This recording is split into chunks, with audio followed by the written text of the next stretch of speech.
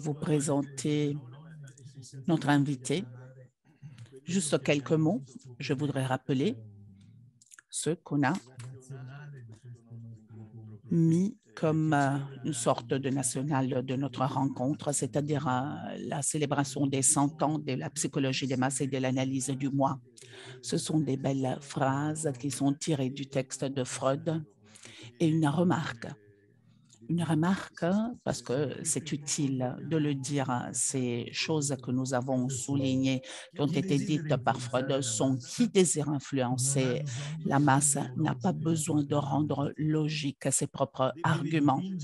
Il doit peindre en couleur foncée, exagérée et répéter toujours la même chose. Il s'agit là, bien sûr, et j'ai traduit librement la pensée de Freud, des pensées qui résonnent en nous-mêmes et qui ont, hélas, une actualité dramatique. La deuxième citation, la masse primitive, les affects s'exaltent et la pensée s'inhibe. Et la troisième, c'est aussi l'occasion pour aborder des questions pas du tout facile que nous allons trouver dans l'intervention de Mme McCann. Une telle masse primaire est constituée d'un certain nombre d'individus qui ont mis euh, le même objet à la place de leur idéal du moi. Donc voilà pourquoi ils se sont identifiés les uns et les autres dans leur moi. Ça, c'est une pensée qui nous a guidés. Euh, psychologie des masses et analyse du moi est le central d'un triptyque d'œuvres qui révolutionne notre théorie euh, au-delà du principe du plaisir, hein, héritier de l'horizon de la dernière théorie des pulsions et préannonce la théorie structurelle dont il montre en fait la nécessité. C'est aussi un essai qui aborde des thèmes et des questions qui seront développés par Freud euh, un peu plus tard, notamment celle de l'identification qui trouve dans ce texte une tratation spécifique et définie base pour euh, les développements ultérieurs successifs les thèmes de l'idéal, de la constitution de l'idéal du moi et de la possibilité de les énoncer face à un idéal collectif qui en sont le corollaire. Et au-delà de ça, comme Freud même l'explique, de l'identification démarre la route qu'en passant par l'identification, on passe aussi à l'entendement du mécanisme par lequel il nous est possible de prendre position à l'égard d'une autre vie psychique. Là, j'énonce des éléments que nous allons retrouver dans l'intervention, dans la présentation de Mme Kahn, que je vais bientôt partager. Et, et Mme Kahn, je vais la présenter aussi. Euh, de formation, Madame Kahn est une historienne helléniste et aussi psychologue avant de devenir psychoanalyste. Elle a travaillé depuis 1970 dans l'équipe de Jean-Pierre Vernon à l'École des hautes études en sciences sociales. C'est là-bas qu'elle a obtenu son doctorat en histoire. En 1979, euh, elle s'est dédiée entièrement, 100% euh, à la psychanalyse. Elle est membre titulaire de la Société psychanalytique de France, dont elle a été le secrétaire général, secrétaire scientifique et présidente aussi. Elle a été aussi co-rédactrice de la nouvelle euh, revue de psychanalyse et d'une autre revue et directrice de l'annuel de la PEF, c'est-à-dire la revue de la société dont elle fait partie. Laurence Kahn a reçu le prix Maurice Beauvais en 2014 et euh, la reconnaissance extraordinaire pour les services rendus à la psychanalyse dans le récent congrès de cette année. Elle est aussi l'auteur, l'autrice de plusieurs publications parues en plusieurs langues. Je rappelle deux tomes de volumes qui ont été traduits en italien, Cure di bambini et Far parlare il destino. Euh, les deux maisons d'édition Borla. La prochaine publication parution en italien, c'est ce que les nazis ont fait à la psychanalyse qui devrait paraître d'ici peu. Je dirais donc de lui passer tout de suite la parole. Elle parlera en français. Je partagerai le texte en italien. Tout d'abord, je veux vous remercier, euh, Patrizio Campanile, ainsi que tous les membres du Centre vénitien de psychanalyse, de, m'avoir invité à participer à cette journée de célébration du centenaire de psychologie des masses et analyse euh, du moi. Non seulement j'en suis très honorée, mais euh, je trouve que le projet est magnifique euh, en soi. plus que tout autre, il permet de mesurer la remarquable lucidité de Freud et la sagacité de ses hypothèses métapsychologiques. Cent ans plus tard, on ne peut en effet que constater la pertinence de l'hypothèse identificatoire quand celle-ci est portée à l'acmé de l'aliénation, ce qui a fait la pâte de tous les régimes totalitaires. Ces entreprises de radiation du sujet, sous la férule de leaders sachant manier avec une extrême habileté les promesses idéales, ont non seulement fort bien réussi, mais semblent en mesure de perdurer largement. La leçon que nous a administrée Donald Trump tout comme le succès jamais démenti des fake news, assorti d'un usage ingénieux de l'empathie. Comment ne pas penser à Éric Zemmour, le nouveau leader d'extrême droite en France? Nous indique le caractère parfaitement contemporain des problèmes soulevés par Freud. Si je dis que les hypothèses de Freud restent d'une très grande actualité, c'est que dans tous les cas, le rôle des idéaux s'avère crucial dans la déroute de la relation à la réalité. Dans le cas particulier du nazisme, et c'est ce cas qui m'occupera, les premières déclarations déterminantes de Hitler se situant deux ans après la publication de Psychologie des masses et analyse du moi, on parvient à saisir comment, à la source du délire de masse, cette instance du moi est littéralement happée par l'accomplissement d'un désir qui converge strictement avec les idéaux de perfection et de pureté. Un accomplissement de désir qui aspire à l'élimination de l'étranger, et cette élimination se réalise directement, sans médiation, dans l'extermination de l'autre par excellence, le juif, décrit comme vermine ou parasite. Ce qui est certes éminemment condamnable. Mais les bons sentiments n'ont jamais été les vecteurs de l'entendement. En l'occurrence, il s'agit de comprendre comment a pu s'instaurer cette passion acharnée du un, cette ivresse de l'accord parfait qui a donné lieu au pire dans l'histoire.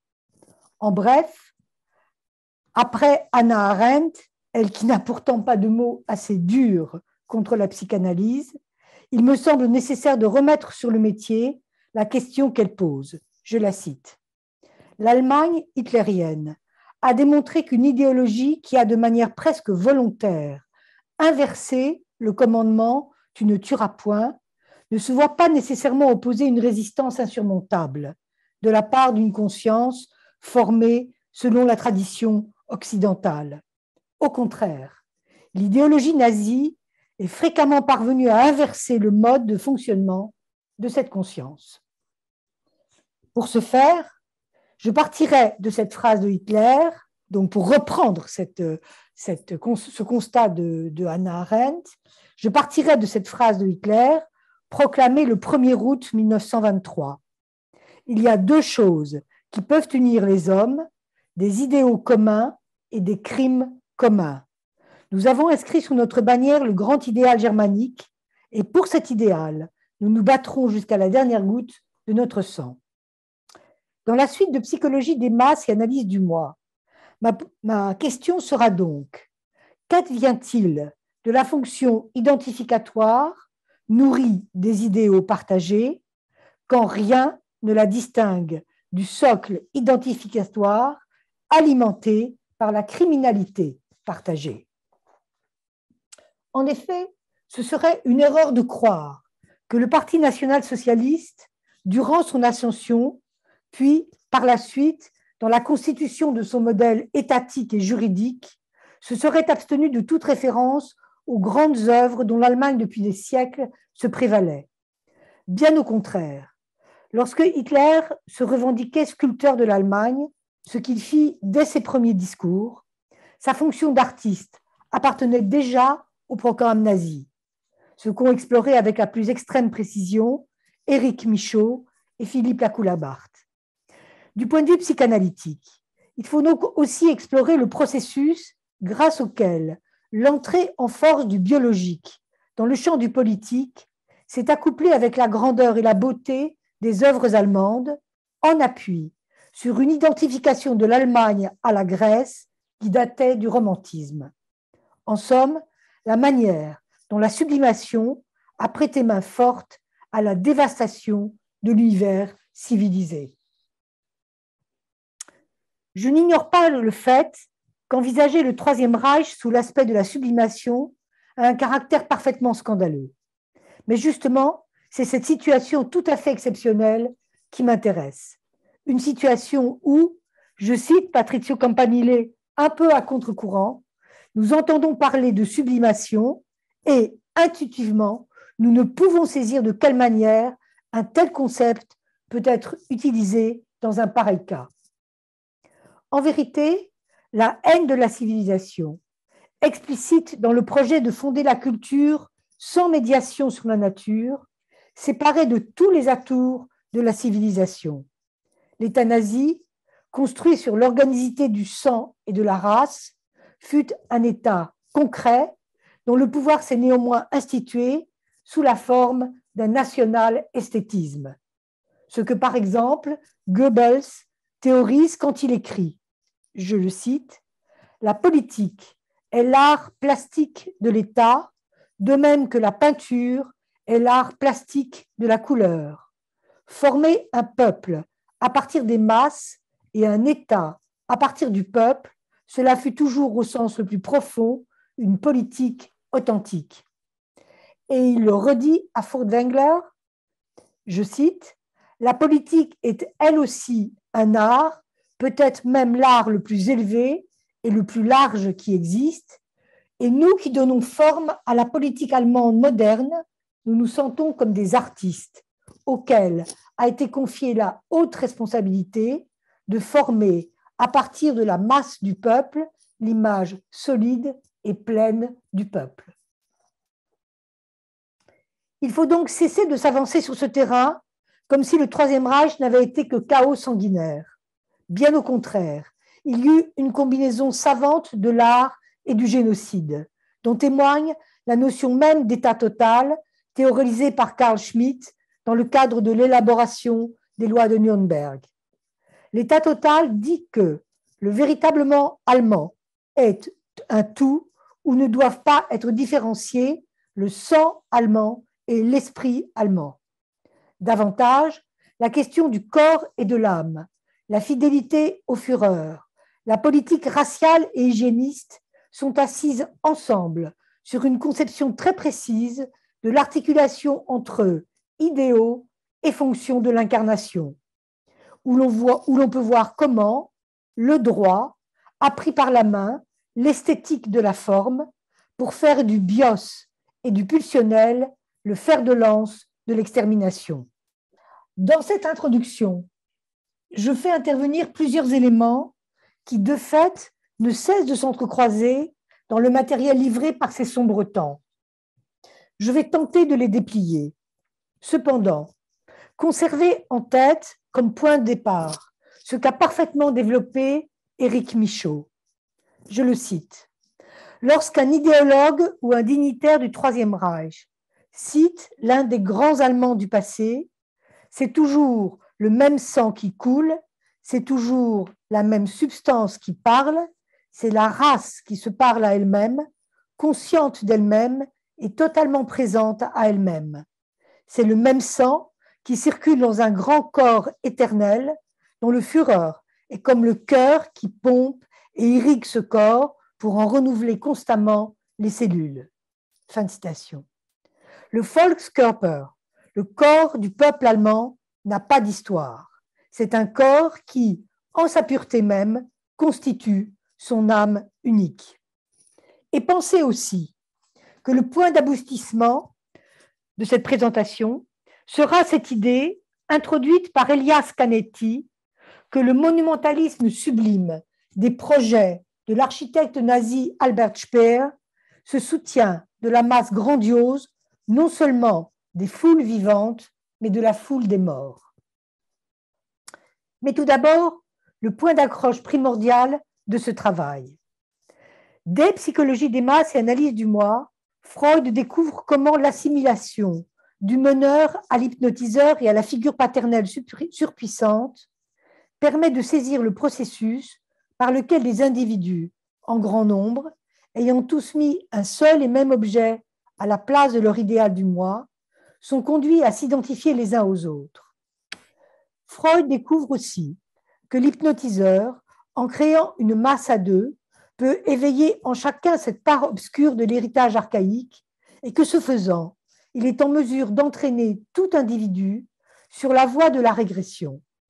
Au chapitre de l'intérêt narcissique de l'amour, l'énamoration de la masse pour son fureur lui fait prendre celui-ci pour son idéal. Annihilant l'instance critique, cet objet idéal est alors en mesure de conduire la foule au ravage. J'ajouterai que si à cette date, Freud commet l'erreur d'imputer les preuves de réalité à l'idéal du moi, erreur qu'il reconnaît par la suite, ceci n'est qu'une demi-erreur. Elle converge avec le plus vif des analyses de Hannah Arendt sur la structure en oignon des régimes totalitaires, lorsque ceux-ci réussissent le prodige d'abolir la relation du groupe à la réalité.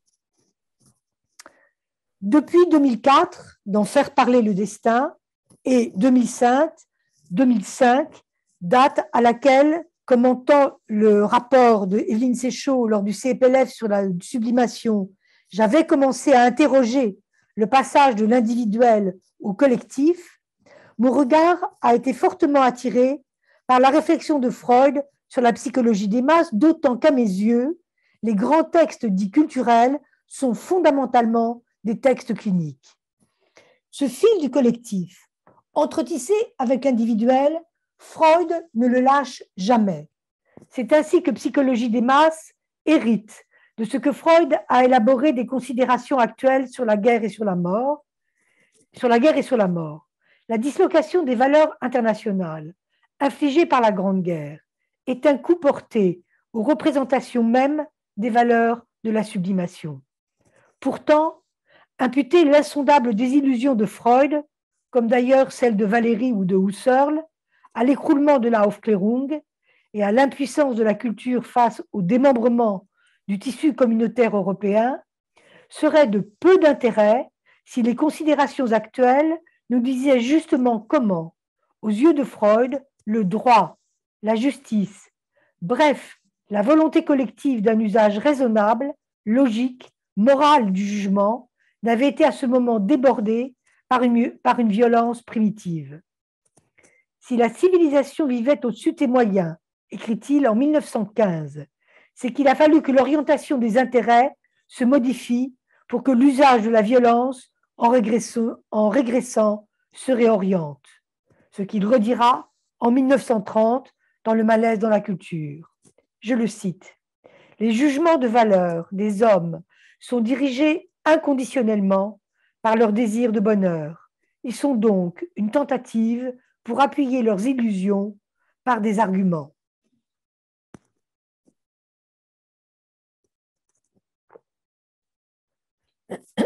Autrement dit, que les intérêts narcissiques changent de camp et soudain, au nom des sacrifices de la collectivité, on rend gloire aux héros d'une boucherie, actualisant ce que l'ancêtre primitif a laissé en héritage en chacun de nous, la passion du meurtre.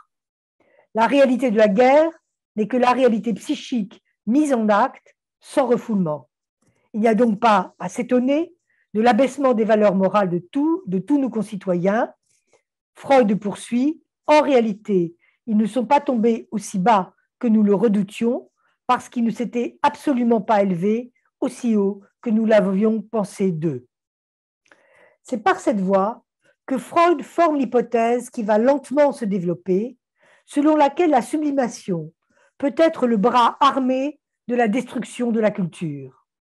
En effet, Si l'identification accroît le moi, l'enrichit et, au plan de la communauté, semble accomplir la visée d'Eros en réunissant de plus grandes entités, elle ouvre aussi à la possible régression des positions narcissiques. Ainsi, dans Psychologie des masses, Freud envisage à propos de la manie le cas de ces foules où s'observe le mythe de la disparition complète, quoique, passagère, de toute particularité individuelle. Freud rapporte ces états maniaques collectifs, tels ceux observés lors des Saturnales romaines, à des moments d'excès permis par la loi où sont levées prohibitions et interdits. Dans ces cas, la scission entre l'idéal du moi et le moi s'efface temporairement, ajoute-t-il, de sorte qu'exempté des limitations surmoïques, le moi, ou plutôt les moi, sont grisés non seulement par l'illusion de leur pleine liberté, mais plus encore par une parfaite coïncidence avec eux-mêmes. Ainsi s'opèrent les retrouvailles avec un état d'autosatisfaction narcissique que l'on croyait à jamais perdu et qui s'accompagne d'un sentiment de triomphe. Pourtant, cette promesse d'une fête grandiose se complique lorsque le meneur, obtient de tous et durablement la désappropriation des consciences individuelles et des champs d'activité propres. Où se trouve le relais collectif équivalent à ce que Freud dit de la levée individuelle et temporaire des interdits. Car tel est le problème du passage de l'action de l'hypnotiseur, s'appuyant individuellement sur des traces archaïques déposées par une figure paternelle surpuissante, au fureur captant la dévotion de la foule tout, tout entière.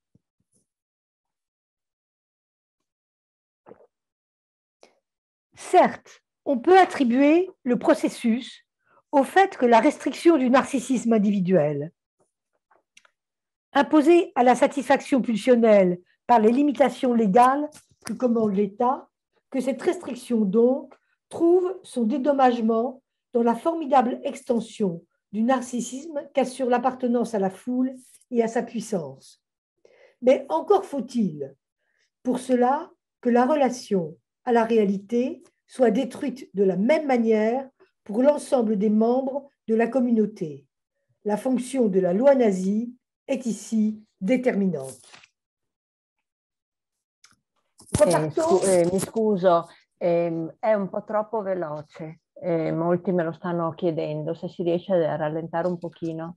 Madame Khan, on vous demande, s'il vous plaît, de parler plus lentement parce que votre texte est très dense et pour arriver à le suivre.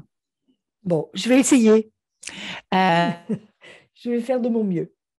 Merci. J'avais peur d'être trop longue et de dépasser trop le temps. Non, non. euh, C'est pas un problème, ça. C'est pas un problème? comprendre. C'est Bon. mieux comprendre.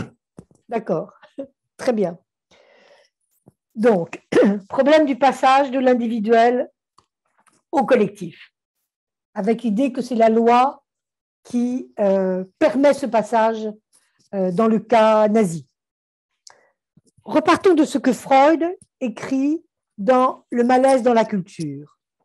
Chacun de nous se conduit sur un point ou sur un autre de, de façon analogue au paranoïaque corrige par une formation de désir un aspect du monde qu'il ne peut pas souffrir et il inscrit ce délire dans la réalité.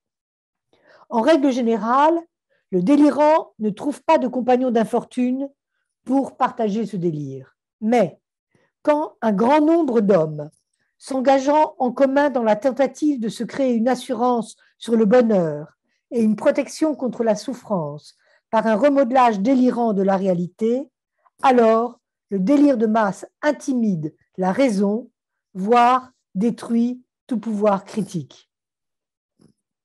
Dans Malaise, le modèle de Freud est encore celui de la religion. Mais on ne peut douter que les religions dites séculières sont déjà présentes dans son esprit, par exemple lorsque deux ans plus tard, dans la 35e conférence, il associe le bolchevisme à la religion.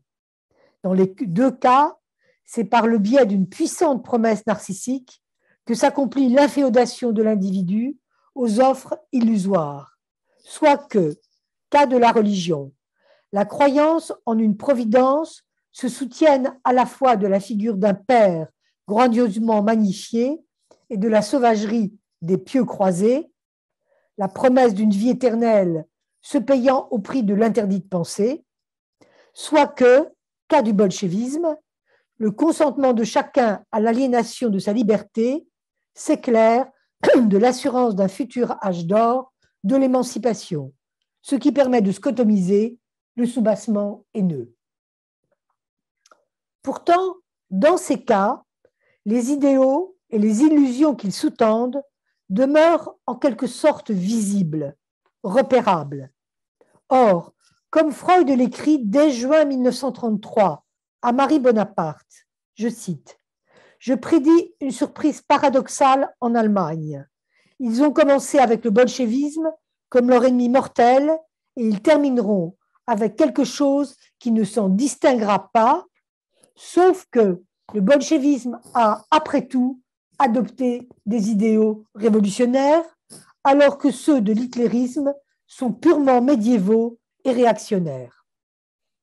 Ce que Freud répète dans L'homme Moïse quand il écrit La retombée du peuple allemand dans une barbarie quasi préhistorique peut se produire sans s'étayer sur une quelconque idée de progrès. Autrement dit, comme l'a souligné Semprun, c'est une Weltanschauung qui se présente sans palliatif ni prétexte idéologique, toute nue. Excusez-moi, j'ai la gorge complètement heureuse, je ne sais pas pourquoi. Mais que signifie toute nue?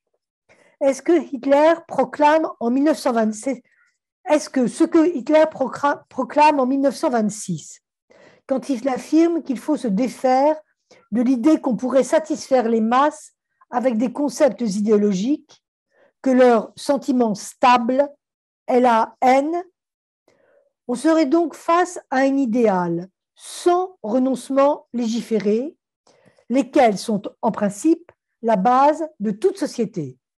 En effet, si aux yeux de Freud, chaque individu est virtuellement un ennemi de la culture, laquelle est pourtant censée être d'un intérêt universel, c'est précisément parce que l'unité politique et sociale relève d'un pacte de renoncement mutuel avec en contrepartie une somme de dédommagements psychiques, des dédommagements que Freud place au centre du fragile équilibre de la civilisation. Au plan individuel, Freud situe ces dédommagements là où s'impose le renoncement aux investissements d'objets infantiles, c'est-à-dire quand le sacrifice pulsionnel offert par le moi au surmoi cesse de s'appuyer sur la récompense d'un supplément d'amour parental. Autrement dit, quand le moi, serviteur de plusieurs maîtres, tente, pour satisfaire les intérêts psychiques lésés, d'inventer la voie de déroutement désexualisé vers d'autres buts. Dans ce dispositif, c'est la communauté sociale qui, pour une bonne part, garantit au plan collectif les transactions psychiques censées remédier au préjudice de l'intérêt lésé. Ces dédommagements sont donc ipso facto noués aux satisfactions fournies par le groupe social, et parmi elles, celle essentielle de la violence collective, la violence de l'État, précisément destinée à protéger chacun contre la violence individuelle. Ainsi, dans leur échange, pourquoi la guerre? Einstein déclare que droit et puissance sont inséparablement liés. L'autorité judiciaire s'approchant d'autant mieux des idéaux que l'autorité législative dispose d'une puissance pour faire respecter ses jugements.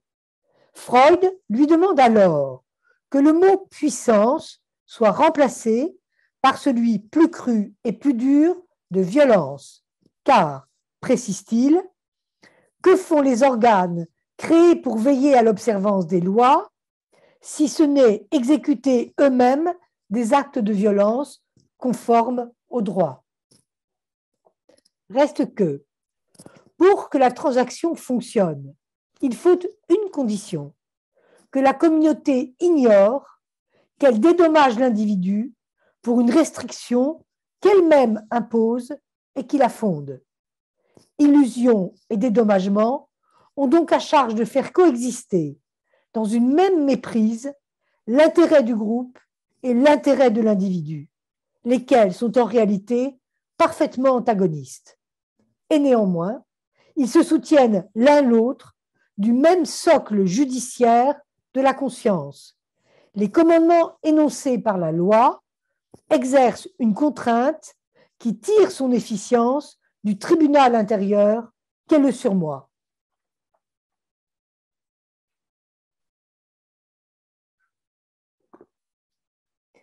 De prime abord, en remplaçant les crimes communs, en plaçant pardon, les crimes communs au rang des idéaux partagés, la rupture par Hitler d'un tel contrat psychique et social semble totale. Quant à la promotion de la haine comme ciment de la communauté, elle paraît mettre définitivement la loi hors la loi.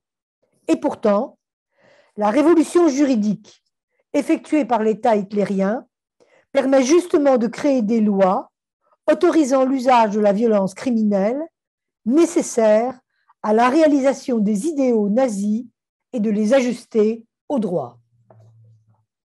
Assurément, il s'agit d'une théorie rénovée du droit qui récuse la conceptualisation abstraite nécessaire à l'ordre juridique.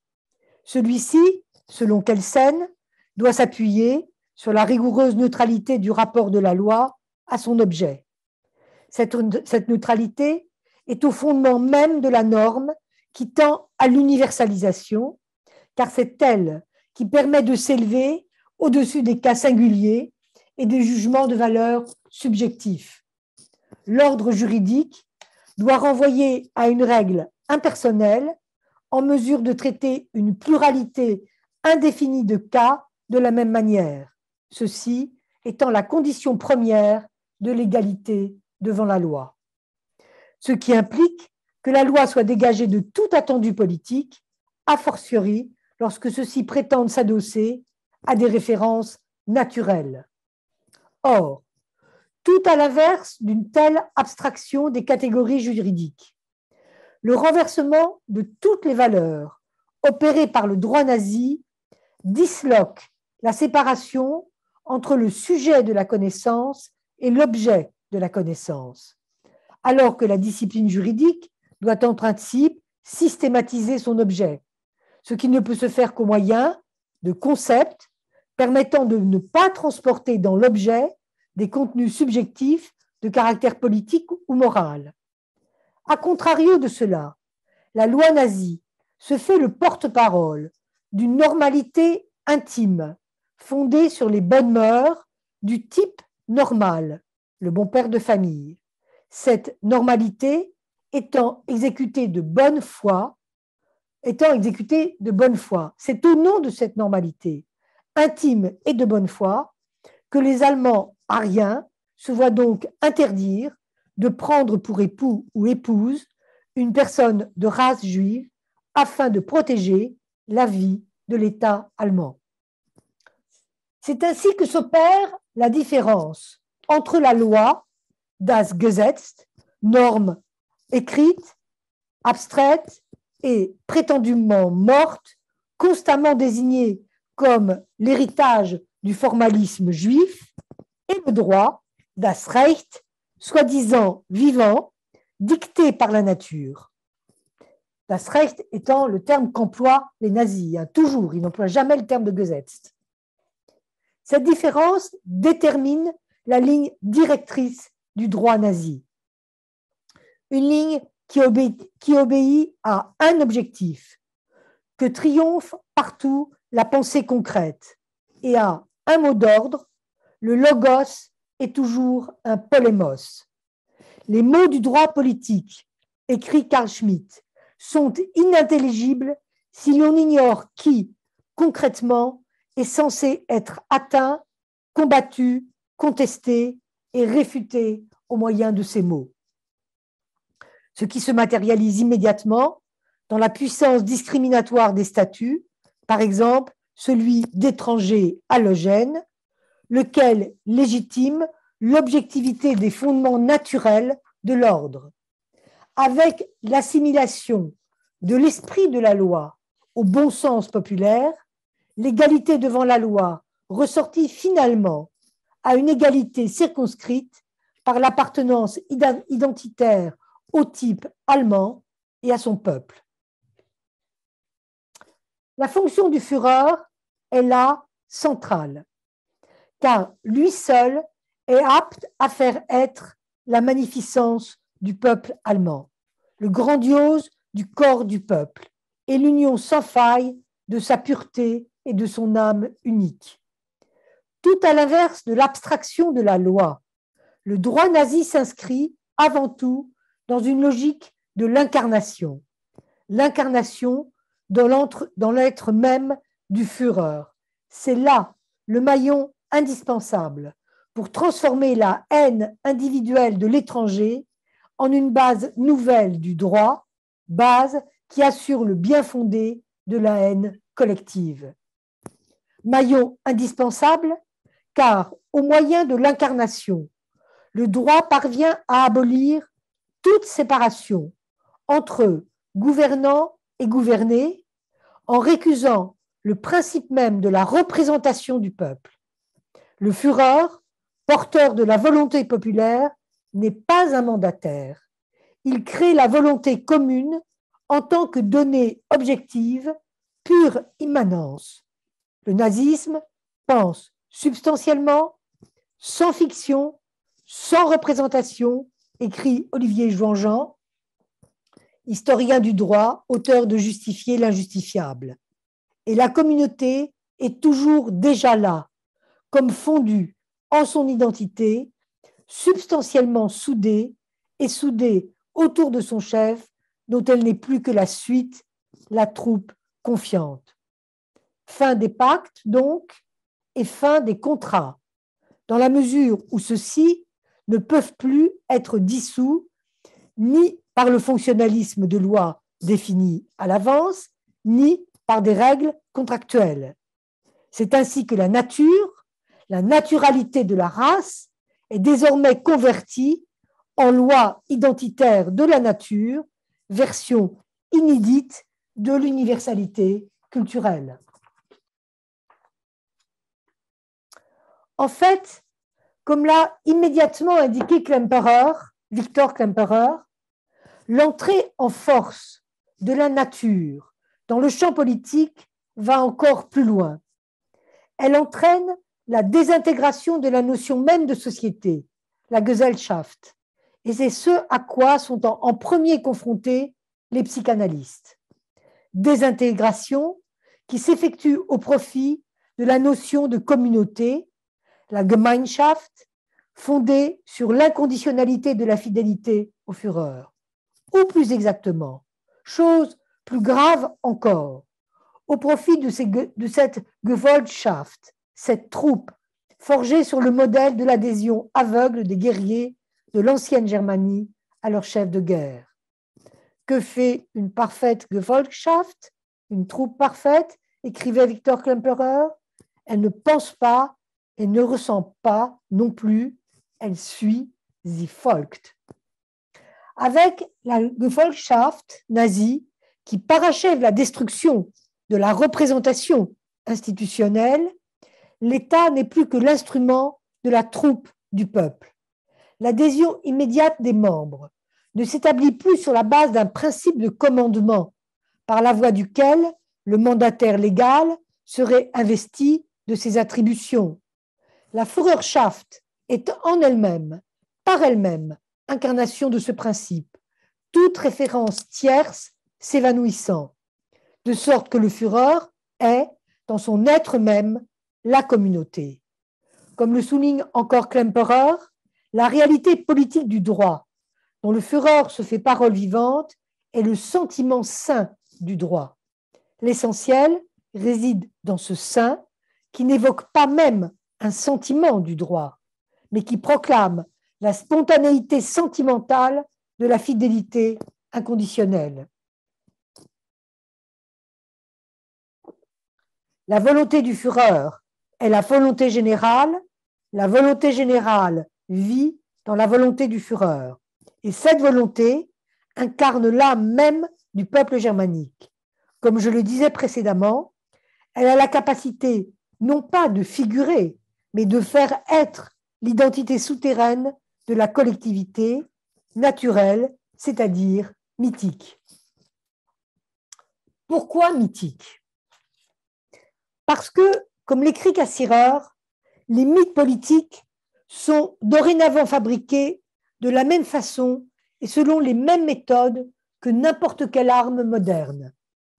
Ainsi, fin de citation de, de Canetti, de Cassirer. Ainsi, la cohésion sans faille de la Gefolgschaft s'édifie sur le mythe d'un sang pur. Cette fiction, ne renvoyant, pas au mythologique, mais à des absolus sans limite. Je reprends l'expression à Philippe Lacoulabart et à Jean-Luc Nancy. Des absolus sans limite qui sont la matière d'une profération de la force vitale elle-même. La visée du mythe de la race est de réaliser l'universalité du type dans la puissance nue de sa propre affirmation et d'obtenir ainsi l'adhésion mystique du peuple à sa propre fabrique identitaire. Je rappelle simplement que Freud, dans Psychologie des masses et analyse du moi, c'est-à-dire, ne l'oublions pas, dès 1921, faisait déjà allusion à cet aspect. L'hypnose, écrit-il, résoudrait tout simplement l'énigme de la constitution libidinale d'une masse si elle ne comportait pas encore elle-même des traits qui échappent à l'explication rationnelle proposée jusqu'à présent, c'est-à-dire un état amoureux ne comportant pas de tendance directement sexuelle. Il y a encore beaucoup de choses en elle dont il faut reconnaître qu'on ne les comprend pas car elles sont mystiques. Faut-il en déduire que l'appel iltyrien au pulsionnel, c'est-à-dire à la force pulsionnelle, la Triebkraft, appel constant dans Mein Kampf, réussirait à ramener le soubassement pulsionnel individuel dans le champ collectif sous la forme mystique d'un idéal grandiose et grâce à l'assise identificatoire assurée par ce nouveau droit, de le ramener dans le champ collectif sous la forme de cet état amoureux de la masse détaché des tendances sexuelles directes. Dans ce cas, n'aurions-nous pas très précisément affaire à un étrange destin de la sublimation?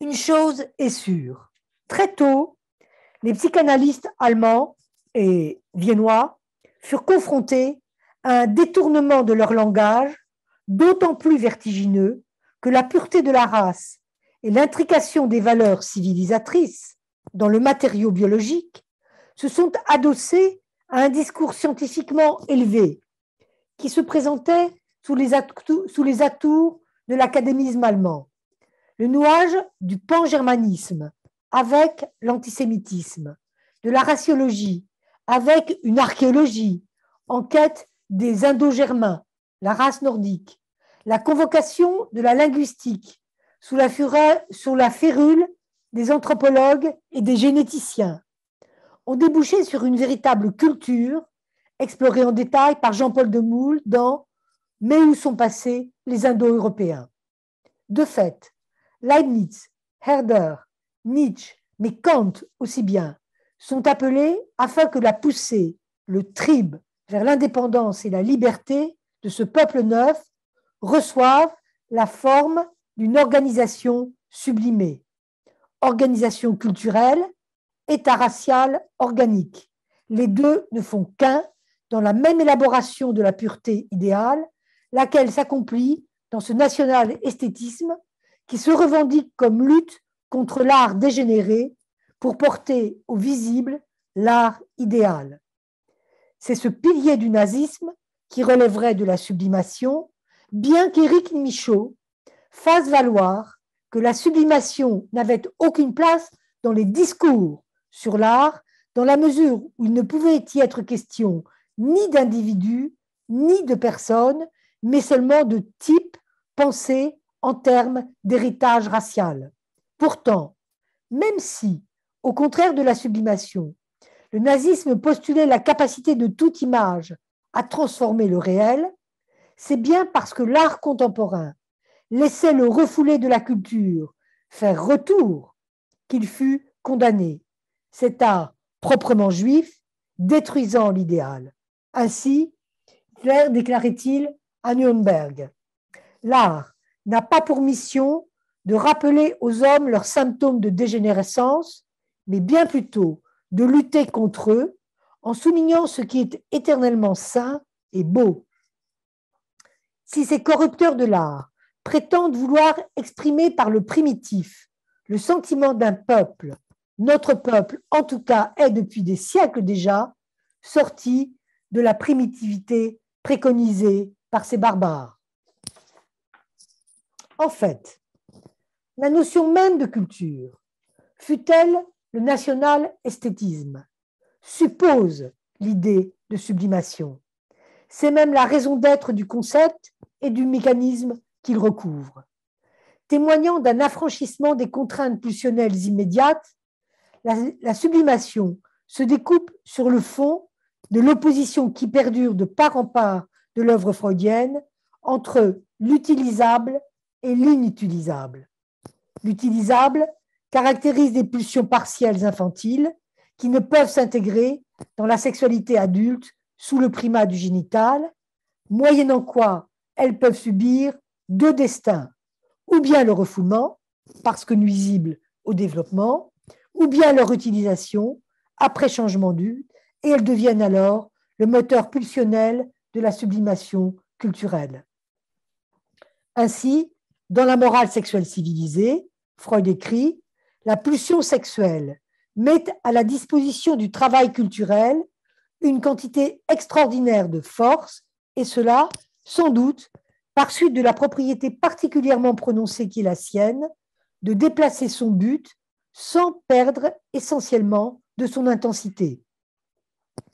On appelle capacité de sublimation cette capacité d'échanger le but qui est à l'origine sexuelle contre un autre qui n'est plus sexuel, mais qui est psychiquement parent avec le premier.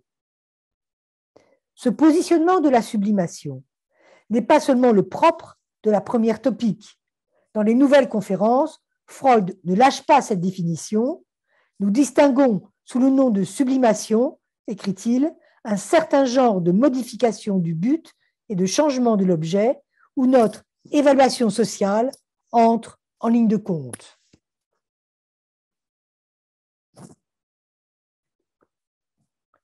Soit, mais avec l'introduction du narcissisme, le mécanisme devient en fait tout autre, car la sublimation est désormais le processus, le produit du processus de la désexualisation à l'œuvre dans le mécanisme identificatoire lui-même.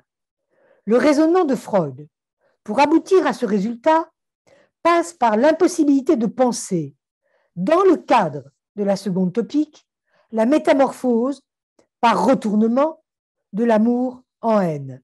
En effet, la disjonction qui dissocie désormais les pulsions de vie et la pulsion de mort prive l'appareil psychique du quantum d'énergie indifférencié et déplaçable qui assurait depuis l'interprétation du rêve un tel retournement.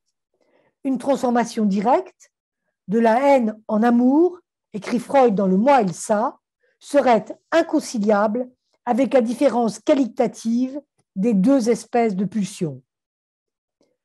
Avec la désexualisation, Freud tente donc de retrouver cette réserve d'énergie indifférenciée, apte à s'adjoindre tantôt à la motion pulsionnelle érotique et tantôt à la motion destructrice, la pulsion de mort. Et il, et il la trouve dans le réservoir de libido narcissique désexualisé qui se forme dans le décours du renoncement aux objets primaires et de leur intériorisation par identification. Je le cite là in extenso. La transposition de la libido d'objet en libido narcissique qui se produit ici entraîne manifestement un abandon des buts sexuels, une désexualisation, donc une espèce de sublimation. Surgit là une question digne d'un traitement approfondi. Cela n'est-il pas la voie générale vers la sublimation? Toute sublimation ne produit-elle pas par l'intermédiaire du moi, ne se produit-elle pas par l'intermédiaire du moi, lequel transforme d'abord la libido d'objet sexuel en libido narcissique pour lui poser ensuite peut-être un nouveau but.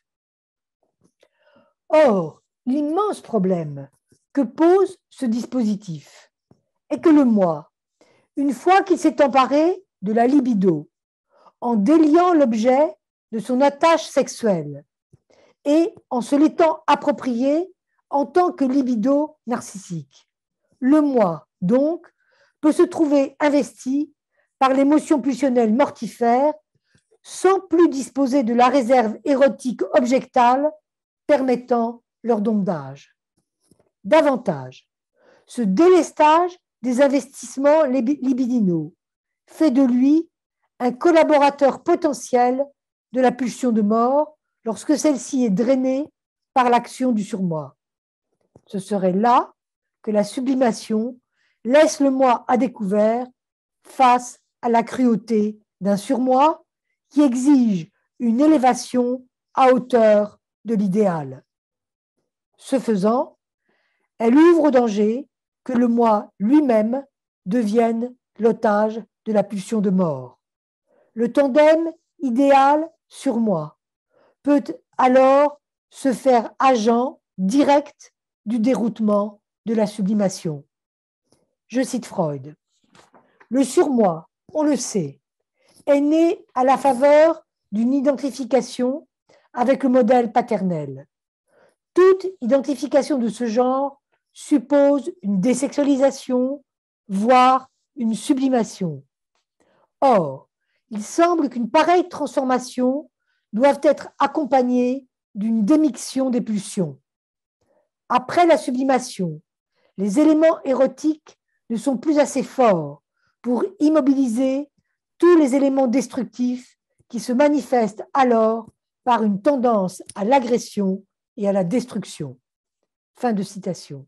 On voit donc que la pulsion de mort ne peut pas être en tant que telle la réponse à la destructivité. C'est bien davantage le tandem qu'elle forme avec le narcissisme qui est déterminant, en particulier lorsqu'ensemble ils forgent ce que Freud nomme délire de masse.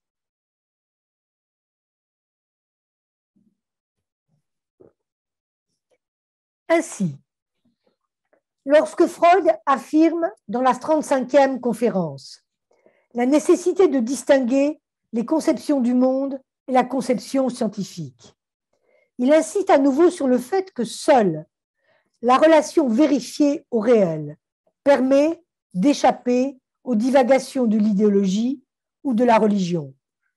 Même si l'accomplissement de désirs, qui alimente l'illusion en satisfaisant les besoins, contribue incontestablement aux réalisations artistiques et à la de systèmes philosophiques, on ne saurait autoriser pour autant le transfert des revendications psychiques sur le terrain de la connaissance scientifique. Car, écrit Freud, on ouvre par là les voies qui mènent au domaine de la psychose, que ce soit la psychose individuelle ou la psychose de masse. Cette notion de psychose de masse apparaît déjà sous le terme de délire de masse dans Malaise. Dans malaise. En fait, elle reprenait en charge ce que Freud avait, avancé depuis pour introduire le narcissisme, épulsion et destin des pulsions, sur la haine, le narcissisme et la détresse associée à la perte de l'objet d'amour. Le moi exècre tous les objets qui deviennent pour lui source de sensations de déplaisir. Raison pour laquelle le mauvais et l'étranger au moi sont tout d'abord perçus de manière identique par le moi plaisir originel. Mais on voit aussi que dans cette théorisation, le narcissisme, même primaire, était un état d'où la relation à l'autre n'était pas totalement absente. C'est cela qui se modifie avec la seconde topique. Tout d'abord, dans Psychologie des masses, quand Freud met en place un premier état narcissique anobjectal qui l'oppose à toutes les formes de relations d'objets, cet état, qu'il nomme alors narcissisme primaire, trouverait, son prototype dans la vie intra-utérine, dont le sommeil représenterait une reproduction plus ou moins parfaite, mais surtout, dans Malaise, Freud reprend la question et fait un pas supplémentaire. C'est alors qu'il tente de saisir, dans l'ordre collectif, la combinaison d'un narcissisme sans borne avec la haine qui en découle et la mutation de la détresse infantile en omnipotence. Comme le souligne Jacques André, les malheurs de la culture, ceux que Freud a connus, plus encore ceux qui ont suivi, confèrent alors à l'expression moi plaisir pur toute sa portée politique. Pureté, épuration, purge semblent en effet s'inscrire désormais dans la quête d'un illimité originel, d'un narcissisme sans défaut, bien plus que dans l'horizon de l'angoisse de castration. Et effectivement, en faisant de la culpabilité une variété topique de l'angoisse, Freud situe l'enfant de malaise en amont de la, culpabilité oedipienne. C'est un enfant en perdition, menacé non d'être châtré, mais de perdre l'amour du protecteur surpuissant. Un enfant prêt à se précipiter dans les bras d'un fureur, capable de le bercer de promesses fantasmagoriques et d'apaiser sa révolte désespérée contre le monde. Or, cette illimité originelle, on le retrouve littéralement parachevé dans la pulsion d'autoconservation, la Selbsterhaltungstrieb, telle que la mobilise le langage nazi. Ce terme revient constamment, absolument constamment dans Mein Kampf. L'espace supposé nécessaire à l'autoconservation, l'espace dit vital, ne connaît, fait, ne connaît en effet aucune forme de limitation spatiale. Les coordonnées du Lebensraum ne relèvent pas du sol, il, ne relève du sol que pour autant que ce sol est en réalité un sol originaire. Et cette origine n'a d'autre définition que l'appartenance à une identité naturelle légitimée par le sang. Sol, origine, autoconservation et autofondation de l'âme germanique s'incarnent dans le narcissisme de la pureté unique par l'entremise des rêves originaires. Rêves originaires d'une forme parfaite, reflétant une complétude parfaite, ce que le droit emploie désormais à définir, destiné qu'il est non à véhiculer une voie tierce, mais à garantir ce grandiose. Comme je le précisais auparavant, le droit du Troisième Reich, le Recht, est de fait un droit de l'auto-effectuation omnipotente. C'est exactement ce qu'accomplit sans relâche le façonnage de la gestalt germanique, produit de l'acte d'un artiste. Elle est l'expression de l'authentique figure arienne à laquelle se voue le sculpteur de l'Allemagne que se veut Hitler. C'est bien ainsi, c'est-à-dire du point de vue de l'esthétique sublimé d'une forme paradoxalement fondée sur la naturalité de la race que le juif apparaît sous les traits de sa naturalité animale, celle du parasite. La belle forme arienne exige que la vermine, les poux de l'humanité, soient détruits pour que demeure intacte la santé et le corps du peuple lumineux.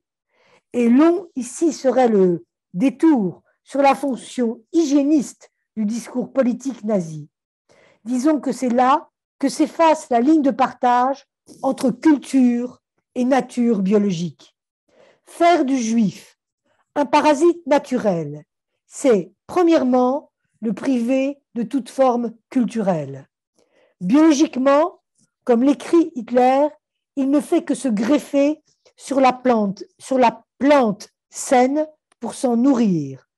Culturellement, comme l'écrit Jung, le juif n'a jamais créé et ne créera jamais une forme de civilisation qui lui soit propre, son, son épanouissement requérant toujours l'existence d'un hôte, raison pour laquelle le juif est incapable de prendre la mesure de la fonction mythique originaire à la source même du mouvement national-socialiste, ceci étant la preuve, toujours selon Jung, que l'inconscient arien a un potentiel plus élevé que l'inconscient juif.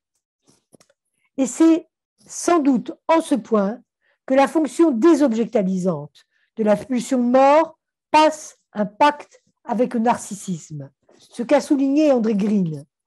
Pour pousser la destructivité suffisamment loin à l'égard de l'autre, la condition indispensable à la réalisation de ce projet est de le désobjectaliser, c'est-à-dire de lui retirer sa condition de semblable humain.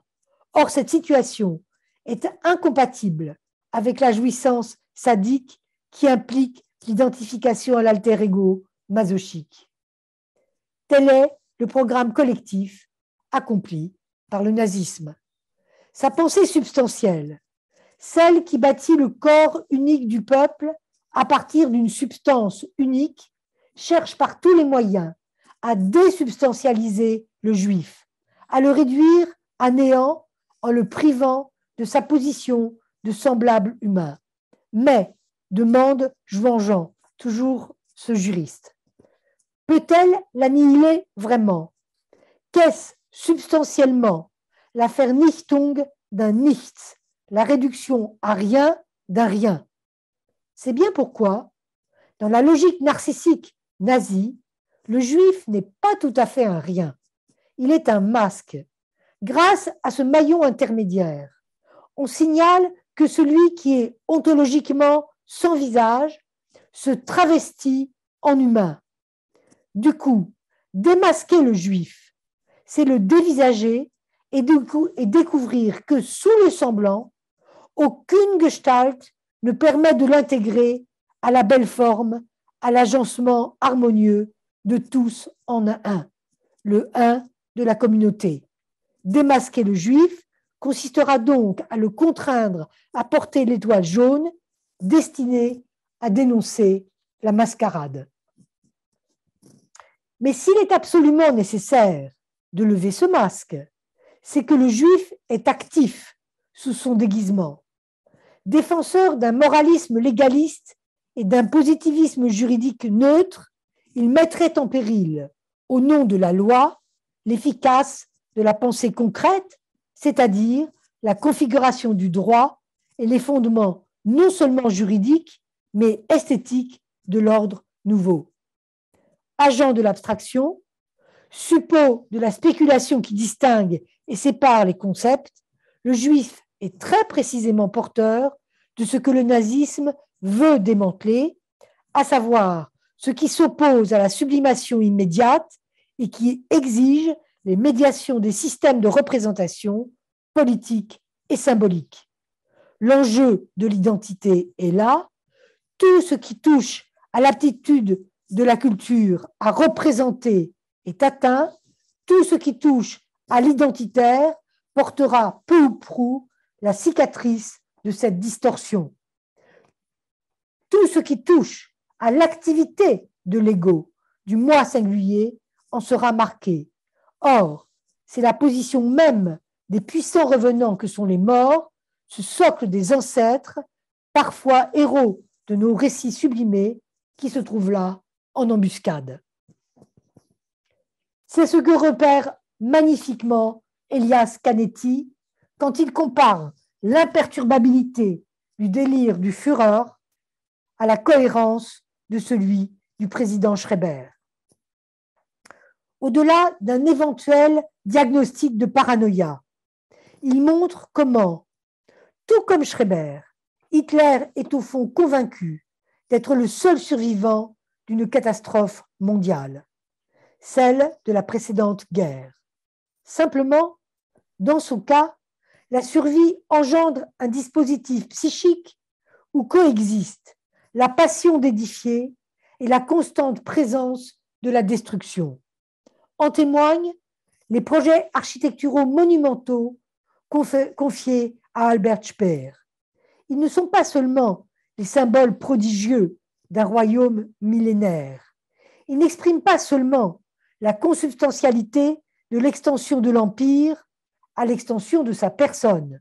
En fait, Hitler sait avec quelle facilité les masses ont tendance à se désagréger. Et ces splendides édifices sont avant tout destinés à les attirer et à les contenir dans tous les sens du terme. Car, comme l'a montré Miguel Abinsour, l'une des stratégies du totalitarisme consiste à détruire l'espace entre les hommes.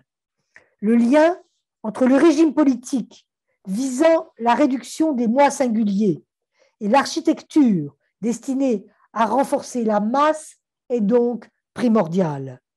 Le gigantisme des édifices, écrit-il, loin de créer du public, produit du massif et du compact en quête d'une cohésion absolue. Et de fait, des années avant Abassour, c'est ce qu'a décelé Elias Canetti. La beauté des édifices, leur caractère grandiose, leur fonction civique, place colossale, édifice cultuel, lieu de procession, devaient permettre leur entrée dans une durée immémoriale et ce faisant, l'entrée des masses, elles aussi, dans une durée immémoriale. Non seulement ces baptisements garantissaient la croissance continue et pérenne des foules, grâce à la répétition des rassemblements, grâce à l'entretien constant de l'excitation, mais au-delà des générations présentes. Ces œuvres architecturales s'enracinaient dans une volonté d'éternité qui n'était pas seulement orientée vers l'avenir. Le vœu d'une survivance dans la mort est à la mesure de la foule des morts dont, depuis le premier putsch, Hitler se soutenait. Dans le désastre qui suivit la défaite allemande et le traité de Versailles, c'est de la masse grandiose des soldats défunts qu'il tira sa force.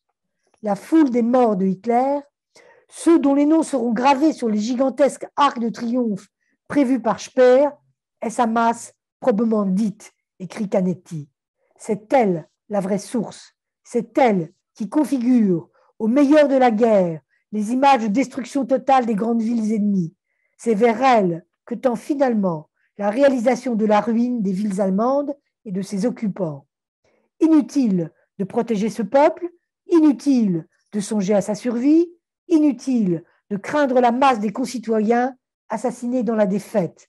Cette masse réclame en elle-même, par elle-même, à son tour, son accroissement. Comme si le vrai sens de l'édification résidait dans l'écroulement. Ce que Speer devine très tôt lorsqu'il propose à Hitler ce qu'il appelle la théorie de la valeur des ruines d'un édifice. Je cite Speer in extenso.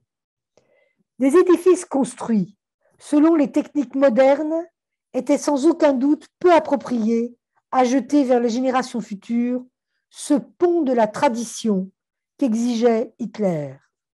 Il était impensable que des amas de décombres rouillés puissent inspirer un jour des pensées héroïques comme le faisaient si bien ces monuments du passé que Hitler admirait tant. C'est à ce dilemme que ma théorie voulait répondre en utilisant certains matériaux ou en respectant certaines règles de physique statique, on pourrait construire des édifices qui, après des centaines, ou comme, nous, aimions à le croire, des milliers d'années, ressembleraient à peu près au modèle romain. Pour donner à mes pensées une forme concrète et visible, je fis réaliser une planche dans le style romantique représentant la tribune de l'esplanade Zeppelin à Nuremberg après des siècles d'abandon.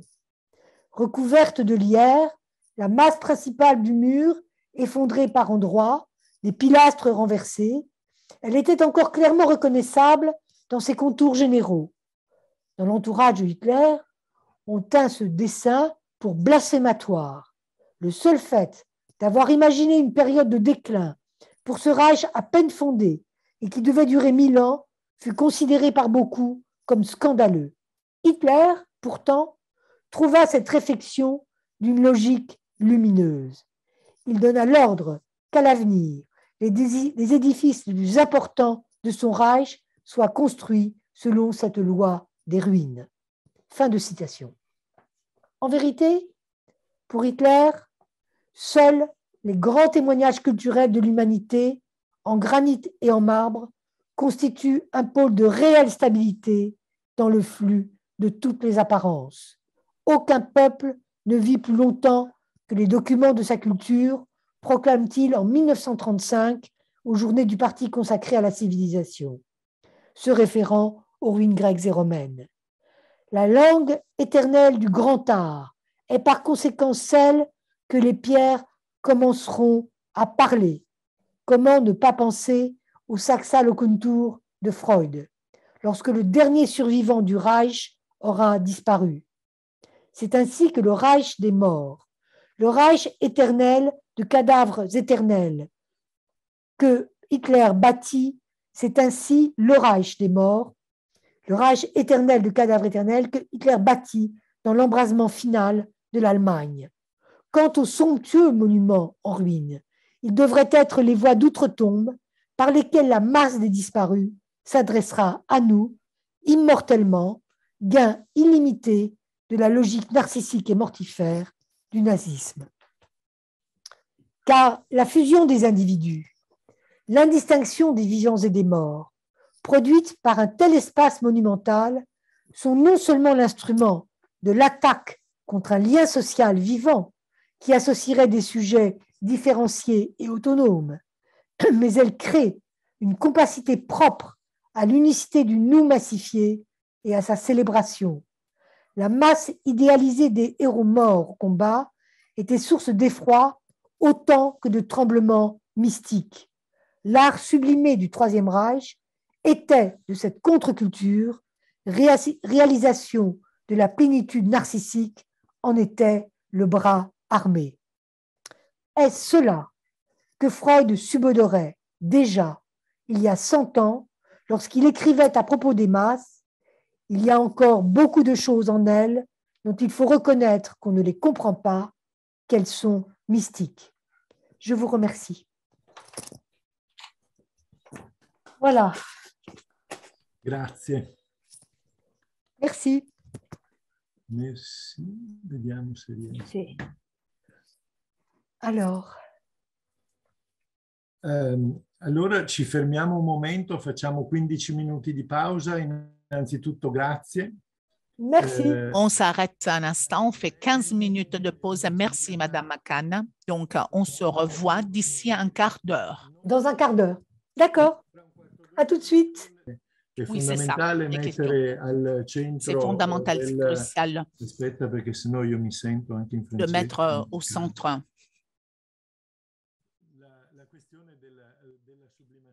de mettre au centre la question de la sublimation demande.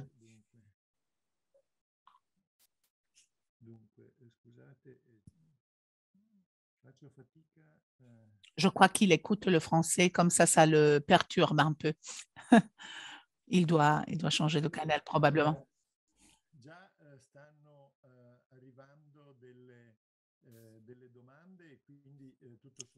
Il y a déjà des questions qui sont en train d'arriver, donc euh, je voudrais passer la parole à, ceux qui voudraient intervenir.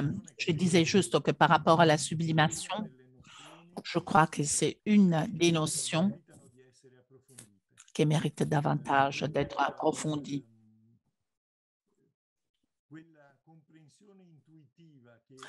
Cette compréhension intuitive que beaucoup aiment quand ils utilisent les concepts euh, psychoanalytiques, je crois que c'est un désastre, c'est un malheur. Hein. Je crois que le texte d'aujourd'hui nous montre bien de quelle façon seulement une compréhension approfondie de la signification des notions peut nous guider, peut nous diriger pour faire d'autres pas dans notre recherche. Je ne vais pas trop m'attarder là-dessus. Je passe la parole au public. Il y a déjà des questions dans la chat qui sont arrivées. Et si possible, donc, je vais au fur et à mesure aussi, moi aussi, intervenir. Adriana Ramacciotti voudrait poser une question. Donc, Adriana pourrait la formuler directement, mais elle, demande donc dans la chat s'il est possible d'approfondir la relation entre la sublimation, ainsi comme elle a été proposée.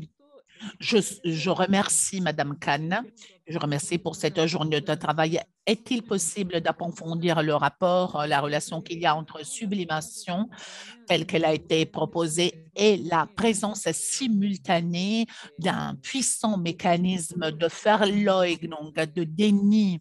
Qu'est-ce que, comment se situe cela, euh, cette question de la sublimation dans la réalité? C'est la question. Je peux répondre là directement? Oui, parce que cette question est, cette question est absolument excellente. Euh, je, je, je, suis très exactement en train de travailler là-dessus en ce moment. C'est-à-dire, au fond, quelle est la euh, composante de déni, hein, puisque l'affaire Leugnung, c'est vraiment ça, c'est le déni, on peut le traduire éventuellement par forclusion, mais on est quand même dans l'ordre du déni, par opposition à la dénégation. Quelle est la composante euh, du déni en jeu dans l'organisation de la sublimation au départ? C'est-à-dire qu'au départ, la sublimation suppose, par définition, une forme de clivage. Freud le dit très très bien, mais dès qu'il invente le concept de sublimation, finalement, euh, quand il oppose l'utilisable et l'inutilisable, euh, il pose bien le fait que euh, l'inutilisable va être ou bien refoulé, ou bien sublimé. L'inutilisable sexuellement, sous le primat du génital va être ou bien utilisé, ou bien, euh, ou bien refoulé, ou bien sublimé. Mais ça, d'entrée de jeu, ça suppose ce qu'il appelle une Spaltung. Et le terme de Spaltung est très compliqué là, parce que Spaltung peut évidemment dire refoulement et peut évidemment dire clivage, puisque le terme de Spaltung désigne le refoulement au départ, au début, par exemple, dans le Mora, oui, dans le Mora, au moment où Freud lui donne toute l'explication sur le refoulement et le sexuel infantile, il emploie le terme, avec les statuettes de Pompéi, etc., il emploie le terme de Spaltung pour désigner le refoulement, c'est-à-dire une séparation à l'intérieur de la vie psychique entre ce qui sera refoulé et ce qui ne sera pas refoulé. Et donc, au fond, cette notion de clivage qui ensuite va prendre une couleur très particulière avec le clivage du moi, en fait, est un jeu dans la théorie euh, depuis très très longtemps. Euh, si on fait un repérage du terme de Spaltung à travers toute l'œuvre, elle là, la notion est là très très tôt. Mais euh, quand il introduit alors la sublimation, on voit comment elle va nécessairement jouer sa partie au sein même du processus de sublimation. Alors, dans quelle mesure Parce que pour moi, c'est là-dessus que je, là pour l'instant, je suis en train de travailler. Dans quelle mesure cette forme-là de clivage prend en masse avec cette autre forme de clivage qui est un clivage par rapport à la réalité, c'est-à-dire la non prise en compte de la réalité, ce qui est évidemment la grande question posée par le nazisme, mais pas simplement par le nazisme. Vous ouvrez n'importe quelle fake news en ce moment en France, on est gâté de ce côté-là. Euh, on voit très très bien comment finalement la, question de la, de la rupture avec la réalité est tout le temps, tout le temps, tout le temps présente. Quand Freud dit s'il y a rupture avec la réalité, alors c'est le commencement de la psychose. Euh, s'il y a non-vérification euh, de la présence de la réalité et de la relation de vérité, alors on est dans, alors on s'embarque sur le chemin de la psychose. Et pour lui, euh, quand il écrit dans, dans, Moïse, clairement, là on est en 38, pour lui la psychose est une psychose de masse, on voit bien que c'est un enjeu absolument majeur. Le problème, c'est comment réussir, une fois de plus, à articuler la perte de la réalité au plan collectif, la perte de la réalité au plan individuel et cette notion de clivage inhérente euh, à la sublimation. Pour moi, c'est véritablement très très compliqué. Je pense qu'il faut réussir euh, à faire ça. Je pense qu'autrement, on ne, comment dire, on ne peut pas comprendre. Je donne un exemple, c'est extrêmement simple. Parmi tous les éléments qui ont été, euh, qui apparaissent dans les, cahiers de Goebbels, euh, il y a cette affirmation, non, ou dans un discours de Himmler, je ne sais plus, mais je crois que c'est dans les cahiers de Goebbels. Il y a cette affirmation absolument extraordinaire qui est que pour quelqu'un qui visitera un camp de concentration, il n'y aura pas de doute que les personnes qui sont dedans méritent d'être là. En réalité, toutes ces personnes ont été complètement métamorphosées par le traitement du camp. Et donc, ces personnes sont devenues des locs, euh, qui fait, ce qui fait que on trouvera justifié de les laisser dans le camp. Dans cette opération-là, il y a véritablement la création d'un réel qui est extrêmement, euh, la création d'un réel qui, qui est une création extrêmement puissante. Dans quelle mesure la création de ce réel permet-elle d'asseoir le déni de la réalité? Ça, c'est une question. Pour moi, c'est une véritable question. C'est-à-dire que il ne s'agit pas d'être relativiste du tout. Au contraire, si on rentre dans le, schéma du relativisme, dans une face précisément à un phénomène de masse comme ça, on est perdu d'avance. Euh, je donnerai éventuellement un exemple tout à l'heure à propos de ce que fabrique Rorty sur Orwell. C'est tout à fait extraordinaire. Bon, on est perdu d'avance. Mais en revanche, on est obligé de regarder d'extrêmement près comment il peut y avoir une fabrique du réel. Car euh, ce qu'on voit par exemple avec le nazisme, c'est qu'il y a une fabrique du réel sous la forme des camps qui deviennent une preuve de l'état de déliquescence des spartakistes et ensuite de déliquescence des juifs, puisque les spartakistes ont été les premiers à, entrer dans les camps.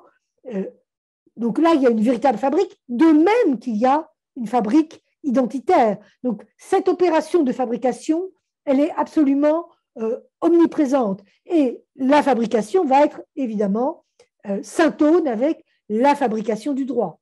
Donc ça, c'est très important. Donc euh, le déni, il vient se loger dans l'opération, dans les assises de cette fabrication d'un autre réel. Mais je pense qu'il n'y a aucun déni de la part des nazis eux-mêmes, absolument aucun. Ils savent très très bien ce qu'ils font. Il n'y a aucun déni. Euh, ils ont, comment dire, ils ont une représentation toute puissante.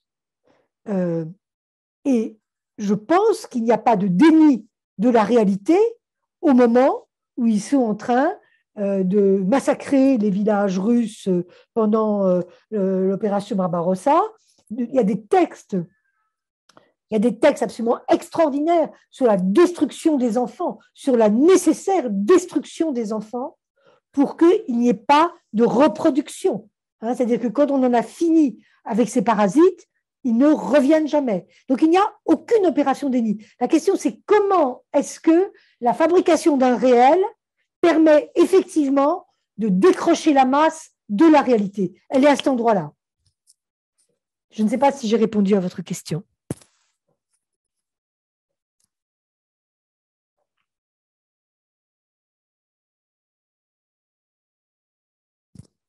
Scusate, avevo l'audio disattivato. Vuole intervenire anche Marina Montagnini. Eh, Madame Marina Montagnini aussi va intervenir. Je ne la vois pas. Je ne vois pas et je n'entends pas. Euh, oui, je vais traduire. Je vous ah, remercie de cette intervention. Je vous remercie de cette intervention. Je remercie vraiment beaucoup pour cette euh, pour cet exposé. J'ai suivi donc euh, en parallèle tout ce que vous avez dit, vous avez conçu, vous avez euh, conçu, pensé. Je suis en syntonie. J'ai remarqué que dans votre exposé, un peu en passant, vous avez cité le concept de bonne foi, bonne foi, buona fede. Mm. Je voudrais dire quelque chose là-dessus et poser une question à la fin. Je crois que le concept de bonne foi après le nazisme est devenu dangereux. Le psychotique croit à sa théorie en bonne foi comme la, la bonne foi des Novax, de ceux qui ne veulent pas de vaccin, l'écroulement du jugement, de la responsabilité et, euh, je fais allusion à Anna Arendt, de commettre le mal le plus atroce en bonne foi, comme le dit aussi Primo Levi dans un chapitre remarquable de Sommerse Salvati. La zone grise, c'est le nom du titre de Primo Levi. Qui est en mauvaise foi? Il est présent en soi-même. Il ne trompe pas soi-même, même s'il peut tromper les autres tandis ceux qui sont en bonne foi trompent les autres, mais ils trompent surtout soi-même. Il, euh, euh, donc, euh, il fait une illusion de soi-même. Je me souviens de ça parce qu'on a parlé des Juifs. Une référence à la culture juive est presque nécessaire. Je voudrais demander, voilà la question, quel est le mécanisme psychique qui permet que la bonne foi euh, reçoivent les caractéristiques de la plus grande destructivité, que ça devienne donc connoté avec les caractéristiques de la plus grande destructivité.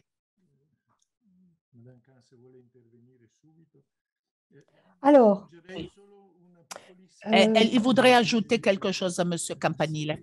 Allez-y.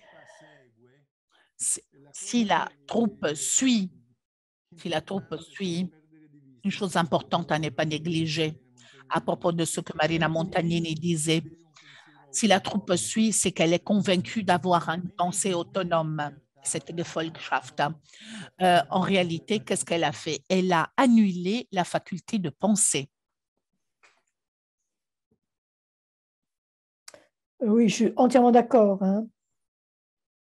Je suis euh, entièrement d'accord. Patricio Campanile, je suis entièrement d'accord parce que, comme vous dites, la compréhension intuitive des concepts est une catastrophe.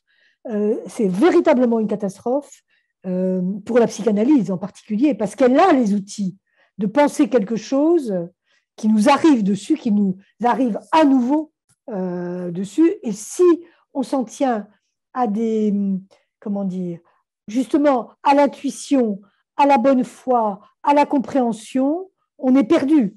Euh, il faut vraiment remettre en route tous les concepts qui nous permettent de tenir dans l'air du soupçon, comme Freud avait forgé ses propres concepts pour réussir à comprendre ce qui se passe euh, à l'heure actuelle. Alors, c'est euh, votre question, Madame Marina Montagnini. est extrêmement intéressante et se raccroche d'ailleurs à la question précédente, parce que, entièrement d'accord, la bonne foi, c'est le plus dangereux, puisque, au fond, il n'y a aucune représentation de, de l'antagonisme intrapsychique entre vrai et faux, bon, mal, il y a une disparition de la conflictualité intrapsychique absolument complète, ce qui est vraiment la, la, au fond la, la recherche même euh, de, tout ce système nazi, c'est que quelque chose de cette conflictualité intrapsychique euh, disparaisse, et donc que cette dimension du jugement, en ce est, euh, qu'il est discriminant, c'est-à-dire qu'il y a des choses qui vont être rejetées et des choses qui vont être conservées euh, disparaissent également. Bon, euh, toute cette partie de, de, de, Alors, quel est le titre français maintenant? Je l'ai oublié. De Primo Levi, les. J'ai le titre italien dans la tête. Sommessi et Salvati. Oui, mais le titre français, je, les, je, je ne le retrouve plus. Peu importe. C'est Les Rescapés. Ah oui, c'est ça, absolument. Euh, bon, le, le, au fond, toute cette, toute cette réflexion de, de, de, Primo Levi est extrêmement importante, mais je pense que il, faut, euh, il faudrait pouvoir la lire à la lumière de ce qu'a injecté dans nos consciences analytiques le relativisme. C'est-à-dire qu'au fond, euh, la bonne foi est en appui sur quelque chose d'immédiat, qui est une sorte de, de, perception et d'intuition de l'autre, assez peu conflictualisée finalement, si on réfléchit deux secondes, dans le relativisme, et qui aboutit, alors c'est là que c'est évidemment très très ennuyeux, qui aboutit à l'idée que, somme toute, euh, la vérité est une vérité subjective, c'est-à-dire qu'elle dépend de ma perception. Mais que si j'ai une autre perception, je, euh, j'aurai une autre représentation de la vérité et une autre représentation de la réalité. Euh, là, on reconnaît l'énorme bâti euh, du constructivisme dans lequel est venu s'insérer le relativisme subjectif qui lui-même a gagné euh, très gentiment la psychanalyse. On voit les effets maintenant, on voit très très bien les effets, c'est-à-dire que euh, il n'y a plus l'argument du, vrai et du faux euh, n'est plus toléré par le relativisme, puisque c'est, selon un très vieil argument sophistique, à chacun sa vérité. Et donc, à chacun sa vérité dans un système intersubjectif. Mais où est le réel dans tout ça? Quelle place on lui a fait? C'est toute la question.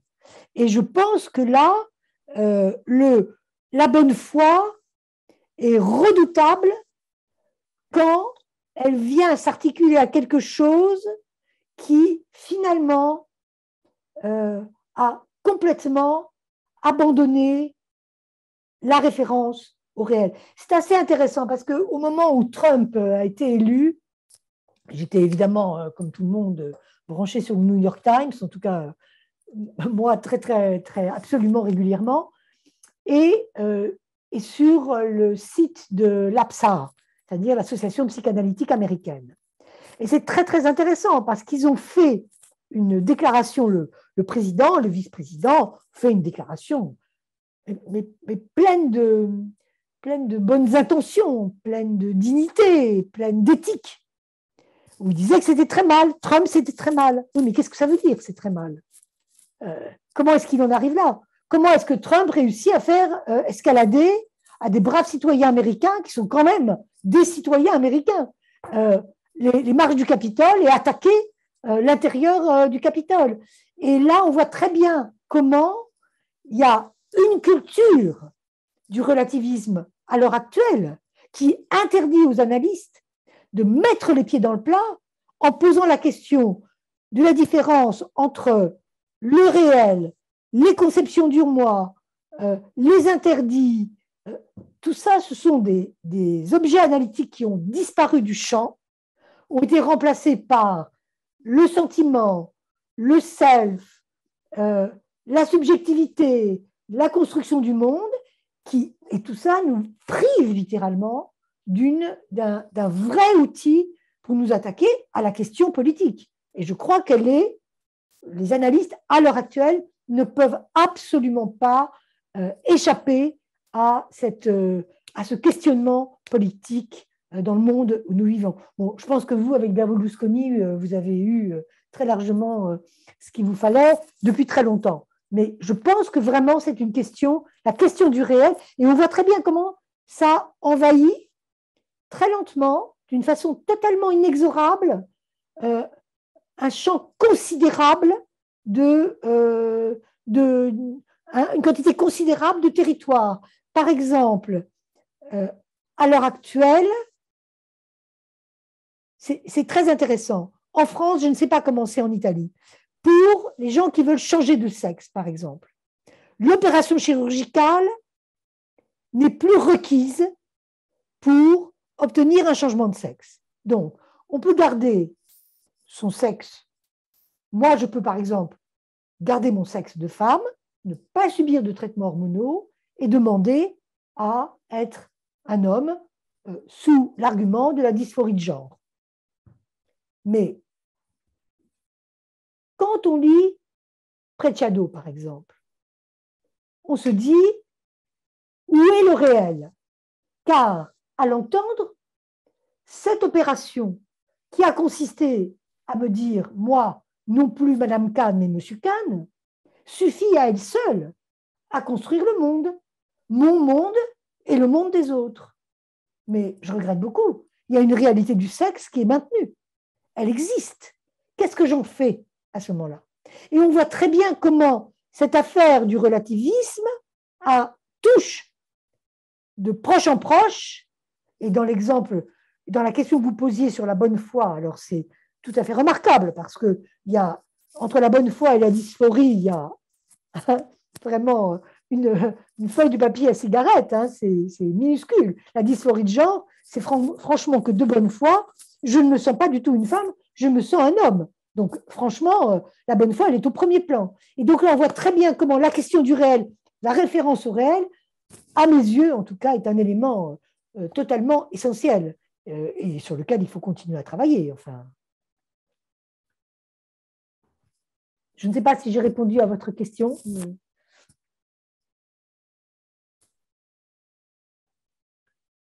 Allora, eh, la parola ad Antonio Alberto Semi. Maintenant, Madame, c'est Antonio Alberto Semi qui s'exprime. Ah. Micro, Antonio, micro. Ecco. Ah, ecco. No, credevo che fosse l'organizzatore a dare la parola. Mm. No, no, no. Il pensait que c'était l'organisateur qui donnait la parole. D'abord, merci à Laurence. Je voulais souligner le sens de son exposé, qui est celui de l'héritage, de l'héritage du nazisme. C'est-à-dire que à juste titre, Madame Kahn a souligné l'aspect des ruines, mais aussi combien les ruines continuent de représenter dans le présent ce passé et peut-être dans l'actualité. Les ruines du nazisme représentent aussi la continuité dans notre vie quotidienne, dans notre monde actuel. Cela me semble être le risque que je crois reconnaître et que aussi Mme Kahn essaie de, de souligner. Voilà pourquoi je voulais demander à Mme Kahn combien appartiennent à ces ruines du nazisme un certain type de mythe de la nature associé donc à un mythe de la nature qui est bien sûr relié à l'aspect de la réalité que Laurence venait de souligner et au problème de la bonne foi. Mais je voudrais aussi savoir combien le mythe de la nature est un élément qui peut effacer une évaluation réelle ou scientifique de ce qu'est le monde extérieur. Bon, ah, ça c'est vraiment important. Hein. Euh, alors, bon, tout d'abord, Alberto, euh, merci beaucoup hein, de ta question, parce que je crois qu'effectivement, la question de l'héritage euh, est absolument centrale. Et quand nous argumentons de bonne foi avec notre héritage culturel ou nos héritages culturels, ce qu'on ne voit pas, c'est que tout, le pire est fait d'héritage culturel. Voilà, le pire. Donc, euh, le, monde est tapissé d'héritage culturel catastrophique. On pourrait dire catastrophique, mais c'est en même temps la culture. Euh, donc, euh, et la culture, comme on essaye de la défendre, c'est donc tout le problème de l'héritage culturel qui est un élément, qui est un vocable extrêmement ambigu, finalement. on pourrait là rentrer dans toute la grande réflexion sur les guerres de religion, l'héritage culturel dans les guerres de, religion. On se retrouve nez à nez avec ça, avec l'islamisme. On voit très très bien comment, quand nous parlons d'héritage culturel, nous parlons de notre héritage culturel à nous. Et dans notre héritage culturel, qui plus est, nous avons à notre actif une quantité de massacres tout à fait exceptionnelle. Ça a commencé avec les croisés et apparemment on n'est pas prêt de s'arrêter. Donc ça c'est la première chose. La deuxième chose, un point euh, que je voudrais souligner par rapport à ta question, Alberto, c'est euh, que. Alors, je, vais repartir de, de, la, de ce qu'a fait Eva Veil au, dernier CPLF. Euh, le rapport d'Eva Veil au dernier CPLF, donc, qui a fait quelque chose sur justement la question de, de, de l'héritage et des lieux et des lieux et des lieux partagés, euh, tout ça dans la suite de, de, la, de la Shoah, de l'extermination. Et au fond, elle attribuait, je n'ai pas pu, malheureusement, je n'ai pas pu assister au CPLF. Si j'avais pu, je serais évidemment intervenue, mais j'en ai parlé avec elle.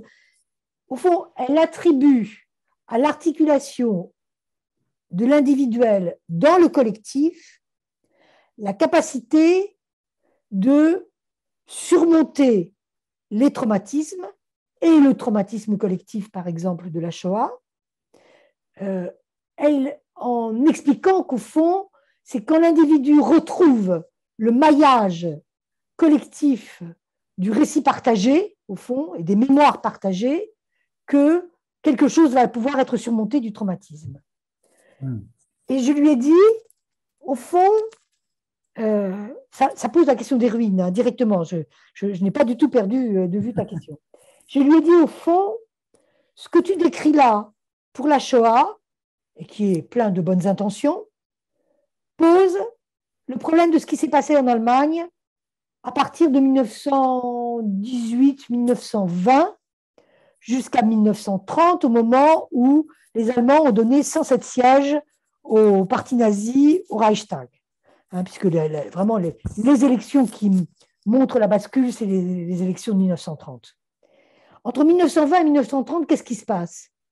Il se passe que justement les individus complètement effondrés par la défaite de 1918 euh, et assassinés psychiquement, narcissiquement par le traité de Versailles. Il suffit de relire la correspondance de Freud avec Jones sur les années 1918-1920, où on voit comment les, habitants des, empires centraux, c'est-à-dire de l'Allemagne et de l'Autriche, enfin ce qui reste de l'Autriche, euh, n'ont pas de passeport, n'ont pas le droit de sortir. Enfin, c'est un, ce sont des pays bouclés et ce sont des pays qui ont à payer des réparations absolument monumentales. Ce sont des pays ruinés, euh, démantelés et bouclés. Donc voilà, euh, une, une atteinte gigantesque. Comment est-ce qu'ils vont faire? Mais ils vont se récupérer narcissiquement. Et ils vont se récupérer narcissiquement individuellement dans un collectif de récits. Alors, vous voyez apparaître euh, les réprouvés, vous voyez apparaître tous ces discours qui sont les préfigurations du discours nazi, l'assassinat d'Rathenau en 21 date de psychologie des masses, euh, euh, participe de ce mouvement. Et on s'aperçoit que là, la, la question de l'héritage et de la perlaboration de l'héritage ne, laisse pas de côté, ne permet pas de laisser de côté la destruction. Tous ces gens-là sont absolument convaincus qu'ils sont en train de recréer une Allemagne nouvelle. Et là, euh, vraiment, Hitler n'a qu'à s'installer en 1924 sur, euh, euh, sur ce socle, je dirais, de quelque chose qui est beaucoup plus large, c'est-à-dire de ce mouvement, de cette tentative d'élaboration narcissique de la défaite de 1918. Et là, il a véritablement une rampe de lancement. Donc, je pense que quand tu dis que le problème de l'héritage, c'est toujours aussi l'héritage de ruines, je pense qu'il faut remonter en amont même de ce qui se passe euh, pour, euh, le, pour le Troisième Reich, c'est-à-dire en amont euh, de l'irruption de Hitler sur la scène politique. Ça commence, les ruines, elles commencent bien avant. Il y a un texte, il y a des, échanges de correspondance entre Freud et Ferenczi, je crois, qui, à mon avis, a été à l'origine de psychologie des masses, non, à l'origine de considérations actuelles. c'est un, une correspondance où Freud décrit son attitude psychique entre euh, août, euh, durant le mois d'août 1914, où il décrit à Ferenczi son enthousiasme avec l'idée que cette fois-ci, enfin, l'Empire austro-hongrois sera digne d'être son empire, qu'enfin ses enfants pourront avoir une bonne vie. Ça dure exactement euh, un mois. Et au bout d'un mois, il comprend que, évidemment, il n'en sera rien. Et ce sera une opération de destruction, euh, comme euh, toujours dans ce type de cas. Et c'est là qu'il commence à tirer euh, toute la question de la primitivité, de l'effondrement des idéaux, etc. Puisque considération actuelle, hein, c'est écrit très tôt. C'est pas écrit en 1918, c'est écrit en 1915. Donc vraiment. Donc la question des ruines et de l'héritage. Hein, qu'est-ce que c'est notre héritage? Mais notre héritage, il est double. Hein. C'est la culture et la destruction. Il ne faut jamais oublier la destruction dans notre euh, héritage. Alors, l'histoire du mythe de la nature, ça c'est un énorme problème. Euh, c'est pareil, je suis obligée de faire un, tour parce que j'ai au fond, ça, c'est une petite partie de, émergée de mon iceberg, qui est euh, l'iceberg sur lequel je suis en train de travailler pour l'instant. Qu'est-ce qu'on va appeler La première question, je n'ai pas travaillé avec Vernon pour rien, la première question, c'est qu'est-ce qu'on va appeler mythe? C'est un vrai problème. Est-ce qu'on va appeler mythe au sens où euh, les mythes ont été première formation de concept, au fond des formations préconceptuelles, si on écoute Cassirer, euh, c'est-à-dire ce avec quoi le langage fabriquant des euh, divinités, des dieux de l'instant, arrivent à isoler des principes qui ne sont pas encore des principes neutres, qui vont devenir, mais arrivent à construire le monde, et ces histoires permettent de construire le monde dans un tout premier temps, ou bien est-ce qu'on va parler de mythe dans le sens où on parle de mythe arien, c'est le, titre du, livre de Poliakov. Hein. Poliakov publie le mythe arien en 49, je crois très très vite après la guerre, euh, ou le mythe nazi comme la Coulabart et Nancy, puisque eux appellent ça le mythe nazi. Mais au fond, le terme de mythe est utilisé euh, là euh, de façon très facile. Pour réussir à aborder cette question-là, et je fais très court parce que je lâche les mythes grecs, et il y a beaucoup à dire parce que je pense que c'est une affaire extrêmement compliquée, mais je me suis servi de Hermann Broch. Hermann Broch très précisément un texte de Hermann Broch qui est Le Tentateur, c'est-à-dire la traduction française de Die Verzauberung, euh, l'ensorcellement.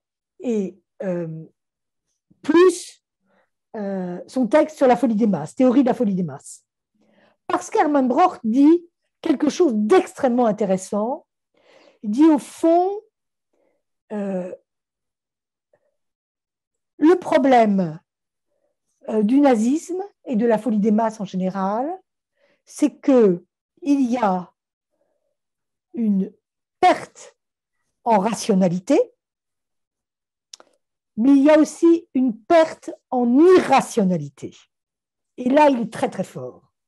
Il dit au fond, ce sont des systèmes qui se verrouillent complètement, progressivement, euh, qui deviennent de plus en plus cohérents, qui deviennent de plus en plus lisses euh, et qui sont complètement resserrés sur eux-mêmes. Et donc, ils ne sont plus du tout en mesure euh, d'accepter toute la partie d'inquiétante étrangeté présente en chaque humain, en chacun de nous. Inquiétante étrangeté qui est ce qui émane de la source pulsionnelle. Broch a, fait plusieurs analyses. Hein. Euh, son dernière analyse, quand il est arrivé aux États-Unis, c'était Federn.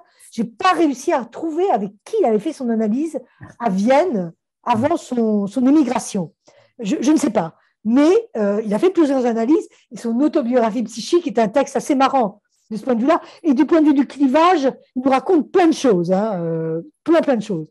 Et bon, donc, ce qui m'intéresse là, c'est, il dit, si on perd en irrationalité, nécessairement, on va se retrouver dans un système qui, tôt ou tard, va se verrouiller et tôt ou tard va euh, filer sur le versant, paradoxalement, de la psychose, au sens où le désir psychotique est un délire qui est extrêmement cohérent. Euh, il a lâché le réel, mais il peut être parfaitement cohérent.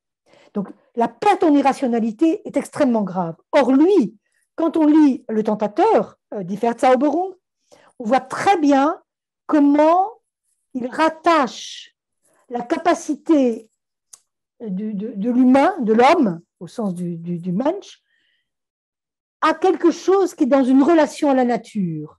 C'est-à-dire qu'en réalité, si on le lit, il y a deux modalités de la nature. Il y a la nature sur le versant de l'organicité, c'est-à-dire du bios, comme les, comme les Allemands, euh, comme les nazis s'en sont servis. Et puis, il y a la nature du, de, l'homme qu'il était, et que Freud était aussi, puisqu'il allait en vacances au même endroit que, Freud, hein, à Seefeld, et il a été arrêté à Meusern, qui est juste en dessous de Seefeld. Il a été mis euh, par la Gestapo dans la, prison de Meusern jusqu'à ce, que jusqu'à, jusqu'à ce que James Joyce aille le sortir de là et puisse euh, lui faire franchir l'Atlantique pour l'envoyer aux, États-Unis pour le sauver. Mais il était à ce moment-là dans cette région-là. C'était un immense marcheur. Il écrivait tout seul, enfermé dans sa petite maison de Meusern. Il écrivait euh, Die et euh, on voit bien à ce moment-là comment il y a un rapport à la, il y a un rapport à la nature, il y a un rapport à la, à cette, justement, un, rapport à l'illimité qui est l'envers de ce que les nazis essayent de verrouiller avec le Lebensraum.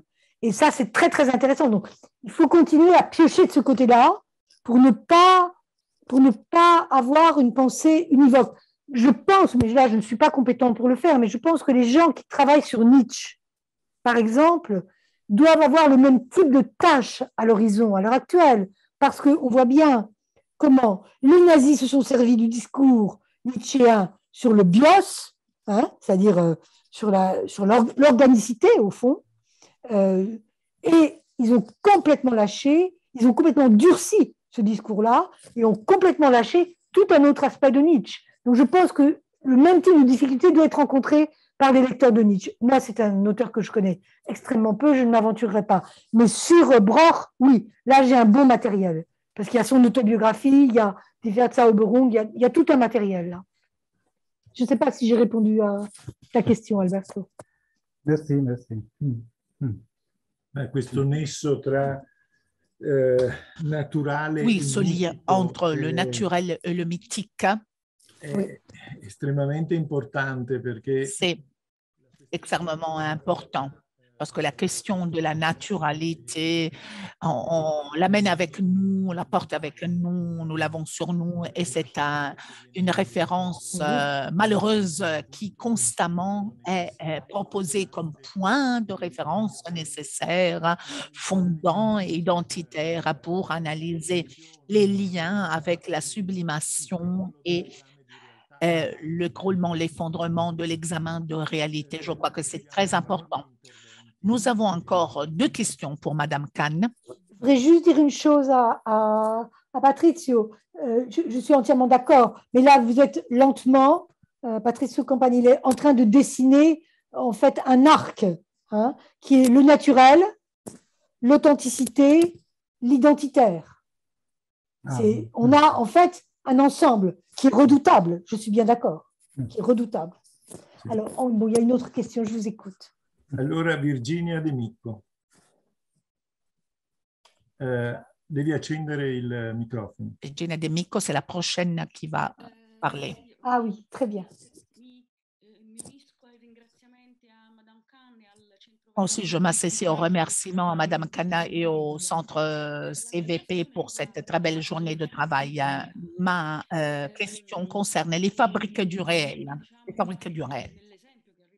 Il me semble que dans l'exemple qui a été fait par euh, Laurence Canin, c'est assez évident que ces fabriques du réel, donc du réel entendu un peu en sens lacanien, euh, soit exactement ce mécanisme individuel et collectif qui, de facto, empêche tout examen de réalité. Donc, cela annule carrément tous les outils de médiation et de reconnaissance de la réalité. Dans ces fabriques du réel, je voudrais souligner dans l'intervention de Mme Kana, la chose qui m'a le plus frappé, c'est-à-dire l'emploi de cette masse amortifère, masse de mort, masse de mort au pluriel qui devient une variable stratégique fondamentale dans la construction du réel, de ce réel auquel euh, euh, tout le peuple est appelé et voué à s'identifier.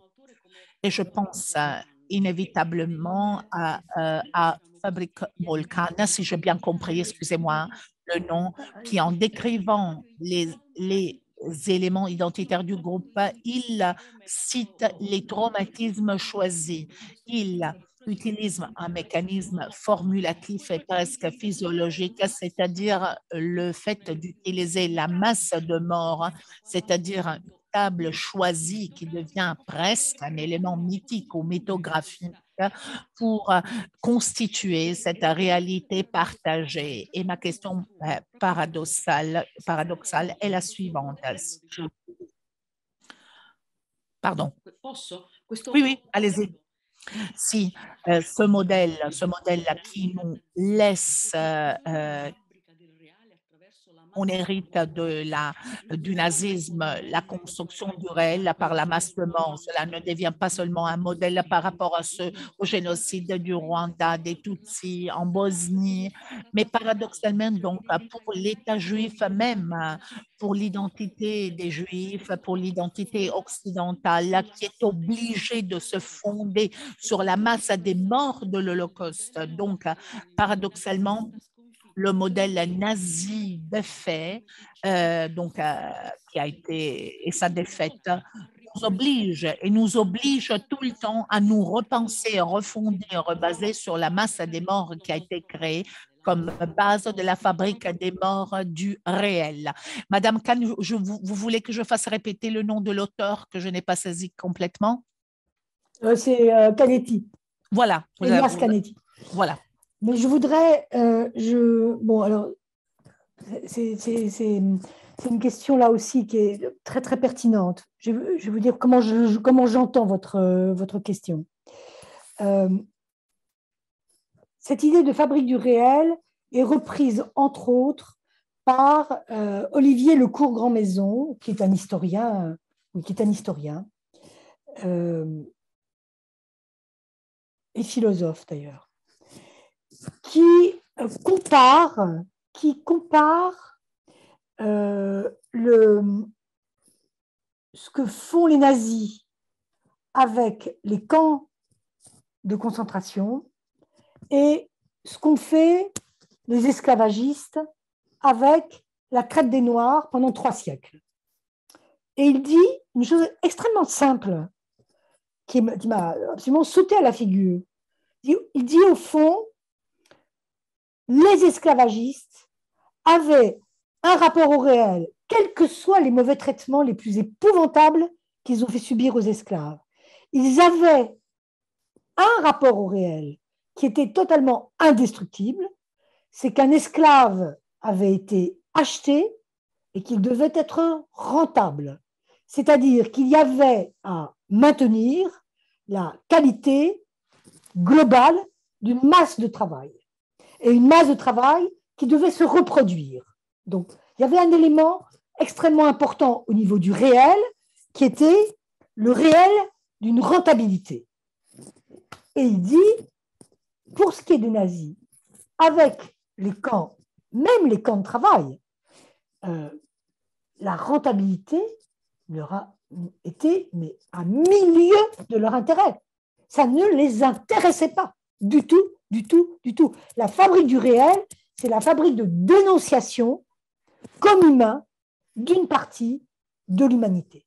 C'est uniquement ça pour eux qui est important. C'est à quel endroit on va réussir à dénoncer un certain nombre d'humains comme étant des non-humains masqués en humains.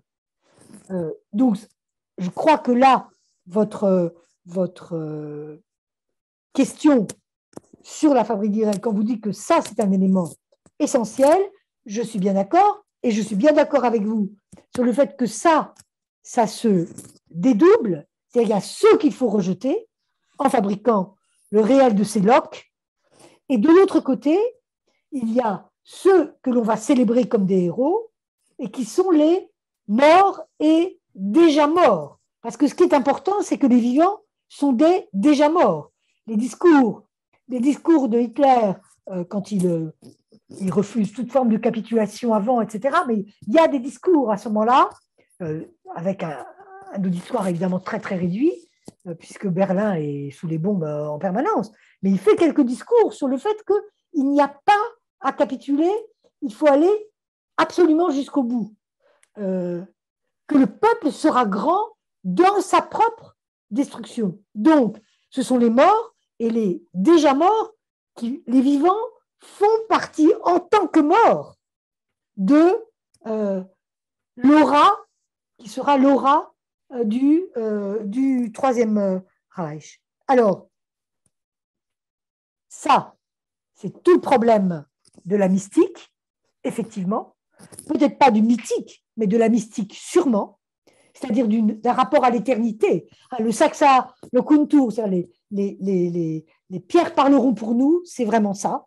C'est nous, sommes éternels mystiquement grâce à la destruction, ce qui est euh, très, très, très important. Et alors, par ailleurs, personnellement, je pense que le, génocide juif euh, ne concerne pas du tout que les juifs, absolument pas.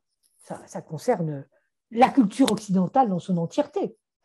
On n'est pas, en tant que juif, et, même quand on a été euh, euh, familialement euh, directement affecté, ce, qui se trouve être mon cas dans ma famille, je, pense que le, génocide concerne notre culture dans son ensemble. Et quand vous dites, au fond, ça concerne d'une certaine manière cette comment dire, cette, cette masse de morts qui, euh, qui peuple notre sous-sol, au fond, concerne euh, la fondation de l'État d'Israël, la communauté juive, mais ça, ça, ça fonde notre civilisation. Et si jamais nous oublions ça, mais nous avons Zemmour qui arrive et qui nous explique que Pétain a sauvé les Juifs, c'est tout.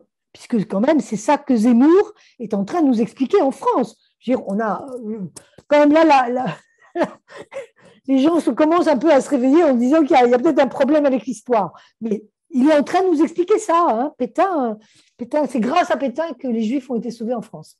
Donc voilà, euh, on voit bien que ça, ça concerne pas du tout que les Juifs.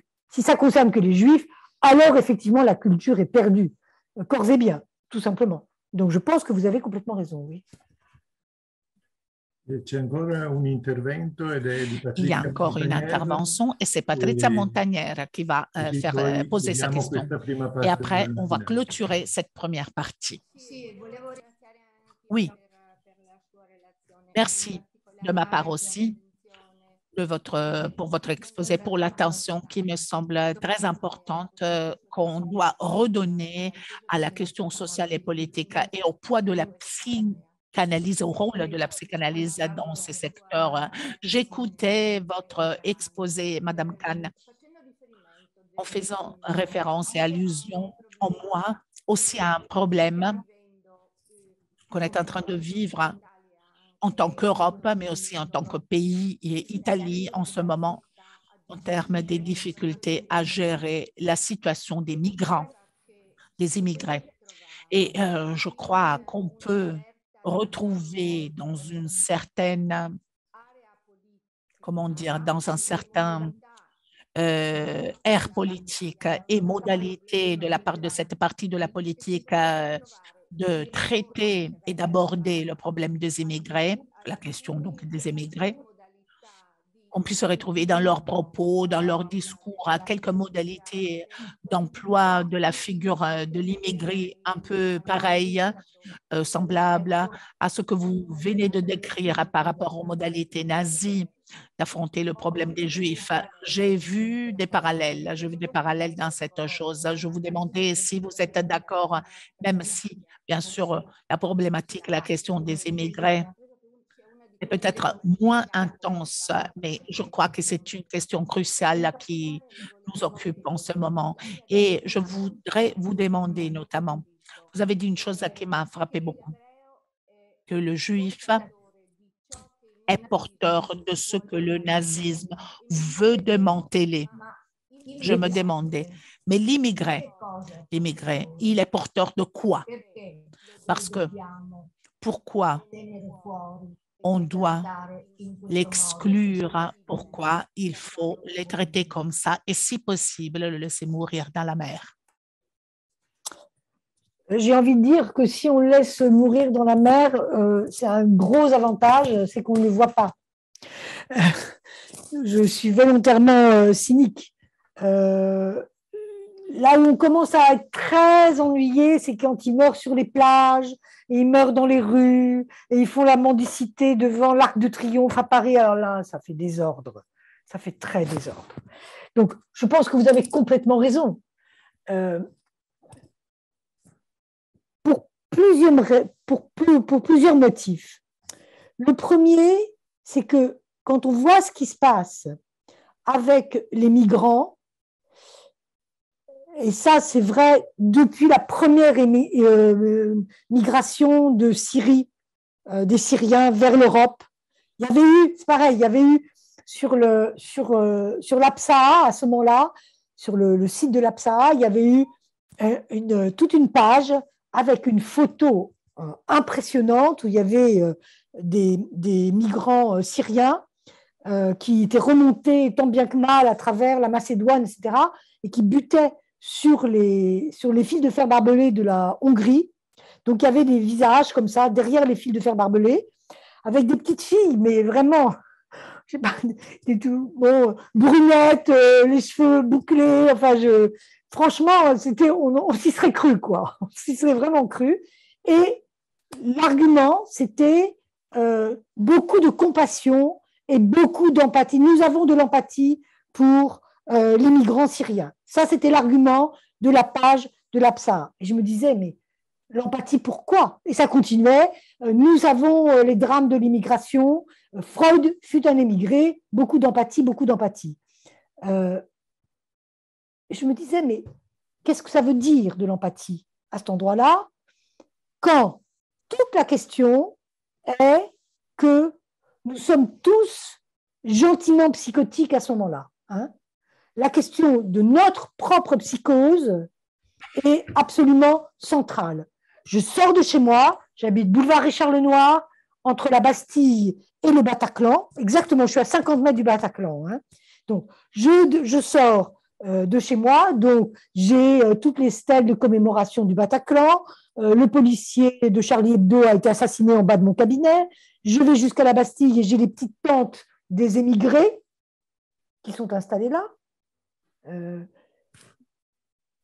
Et qu'est-ce que je fais? Eh bien, je suis psychotique.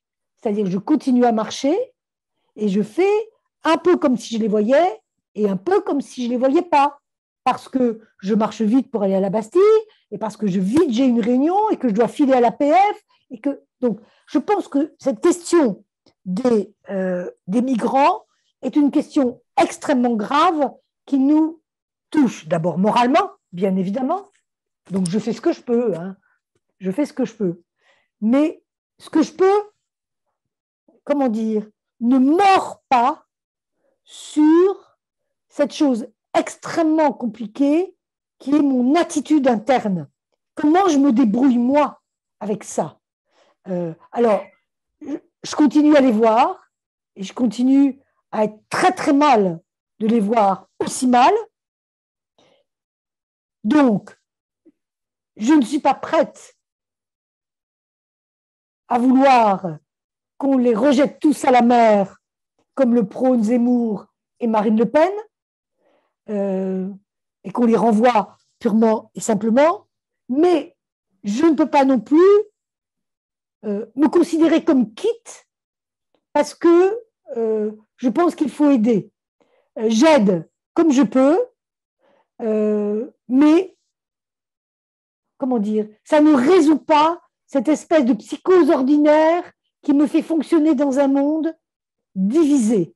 Je ne sais pas comment dire autrement dans un monde divisé, qui fait que je peux. Et alors, c'est extrêmement grave parce que là, la psychanalyse est vraiment sur la sellette. Euh, le grand argument des politiques, mis, à part euh, quelques rares spécimens comme, euh, comme Adorno et, ses petits camarades dans l'immédiate après-guerre. Mais au fond, le grand argument des politiques, et, et on l'entendait encore en 68, quand on s'occupait de psychanalyse, c'était mais regardez le monde comment il est et arrêtez de vous occuper de votre nombril. Mon nombril étant ma vie psychique. Et donc cet argument-là est un argument qui venait attaquer cette dimension de psychose ordinaire. C'est vous ne vous occupez pas du réel, le réel est dans votre rue, et vous ne voyez pas. C'était l'argument pendant la guerre d'Algérie en France. Enfin bon, je pense qu'il y a eu absolument l'équivalent euh, en Italie euh, durant ces périodes-là. C'est-à-dire que, au fond, le, le, le monde va très mal. Qu'est-ce que vous faites avec la psychanalyse? Occupez-vous du monde. Voilà. Et là, si les analystes lâchent leurs propres outils pour analyser ce qui se passe justement avec ce monde qui va mal, alors effectivement, on n'a plus de raison d'être. Nous n'avons plus aucune raison d'être. Sinon, de réparer les traumatismes individuels. Alors évidemment qu'on a cette tâche-là, mais somme toute, euh, bon an, mal an, euh, ça se fera, ça. Tandis que l'enracinement, l'enracinement de ces phénomènes sociaux dans les phénomènes cliniques individuels et l'articulation psychose collective, psychose individuelle, ça, psychose ordinaire individuelle, il faut réussir à la faire. Oui, je suis d'accord avec vous. Bon. Dunque, potremmo sicuramente andare avanti, però andremo avanti tutta la giornata. C'est sûr qu'on pourrait parler des heures et des heures. Il y a une suite. Hein? Eh. sì. E eh, abbiamo eh, Laurence Kahn eh, generosamente resterà con nous. Laurence Kahn, généreusement, elle restera avec nous toute la journée. Donc, nous aurons euh, la possibilité d'en reparler. Il faut passer à la deuxième partie. Je me limite juste à dire une chose, c'est-à-dire J'aimais beaucoup cette expression d'être gentiment psychotique, qui est vraiment incroyable. Je ne saurais pas la traduire de la façon la meilleure en, italien, donc je l'ai répété en français. Il y a quelque chose de subtil et aussi de redoutable, hein, un petit appât un petit appât, un petit piège là. Donc, cette invitation à nous occuper de notre histoire, de notre histoire contemporaine et de notre histoire passée.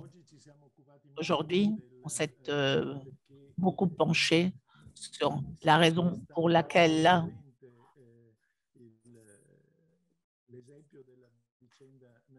et l'exemple des nazis, c'est parfait et très éclairant là-dessus. Mais n'oublions pas que nous avons le fascisme. Nous avons la question du fascisme avec euh, lequel euh, qu'on n'a pas encore suffisamment pris en compte. Je voulais aussi souligner que, et rappeler que le 27 janvier, vous savez que c'est la récurrence de la Shoah, le 27 janvier, il y aura une autre rencontre que le Centro Veneto de psychanalyse organise, qui est centrée là-dessus, c'est-à-dire de quelle façon l'histoire, notre histoire à nous,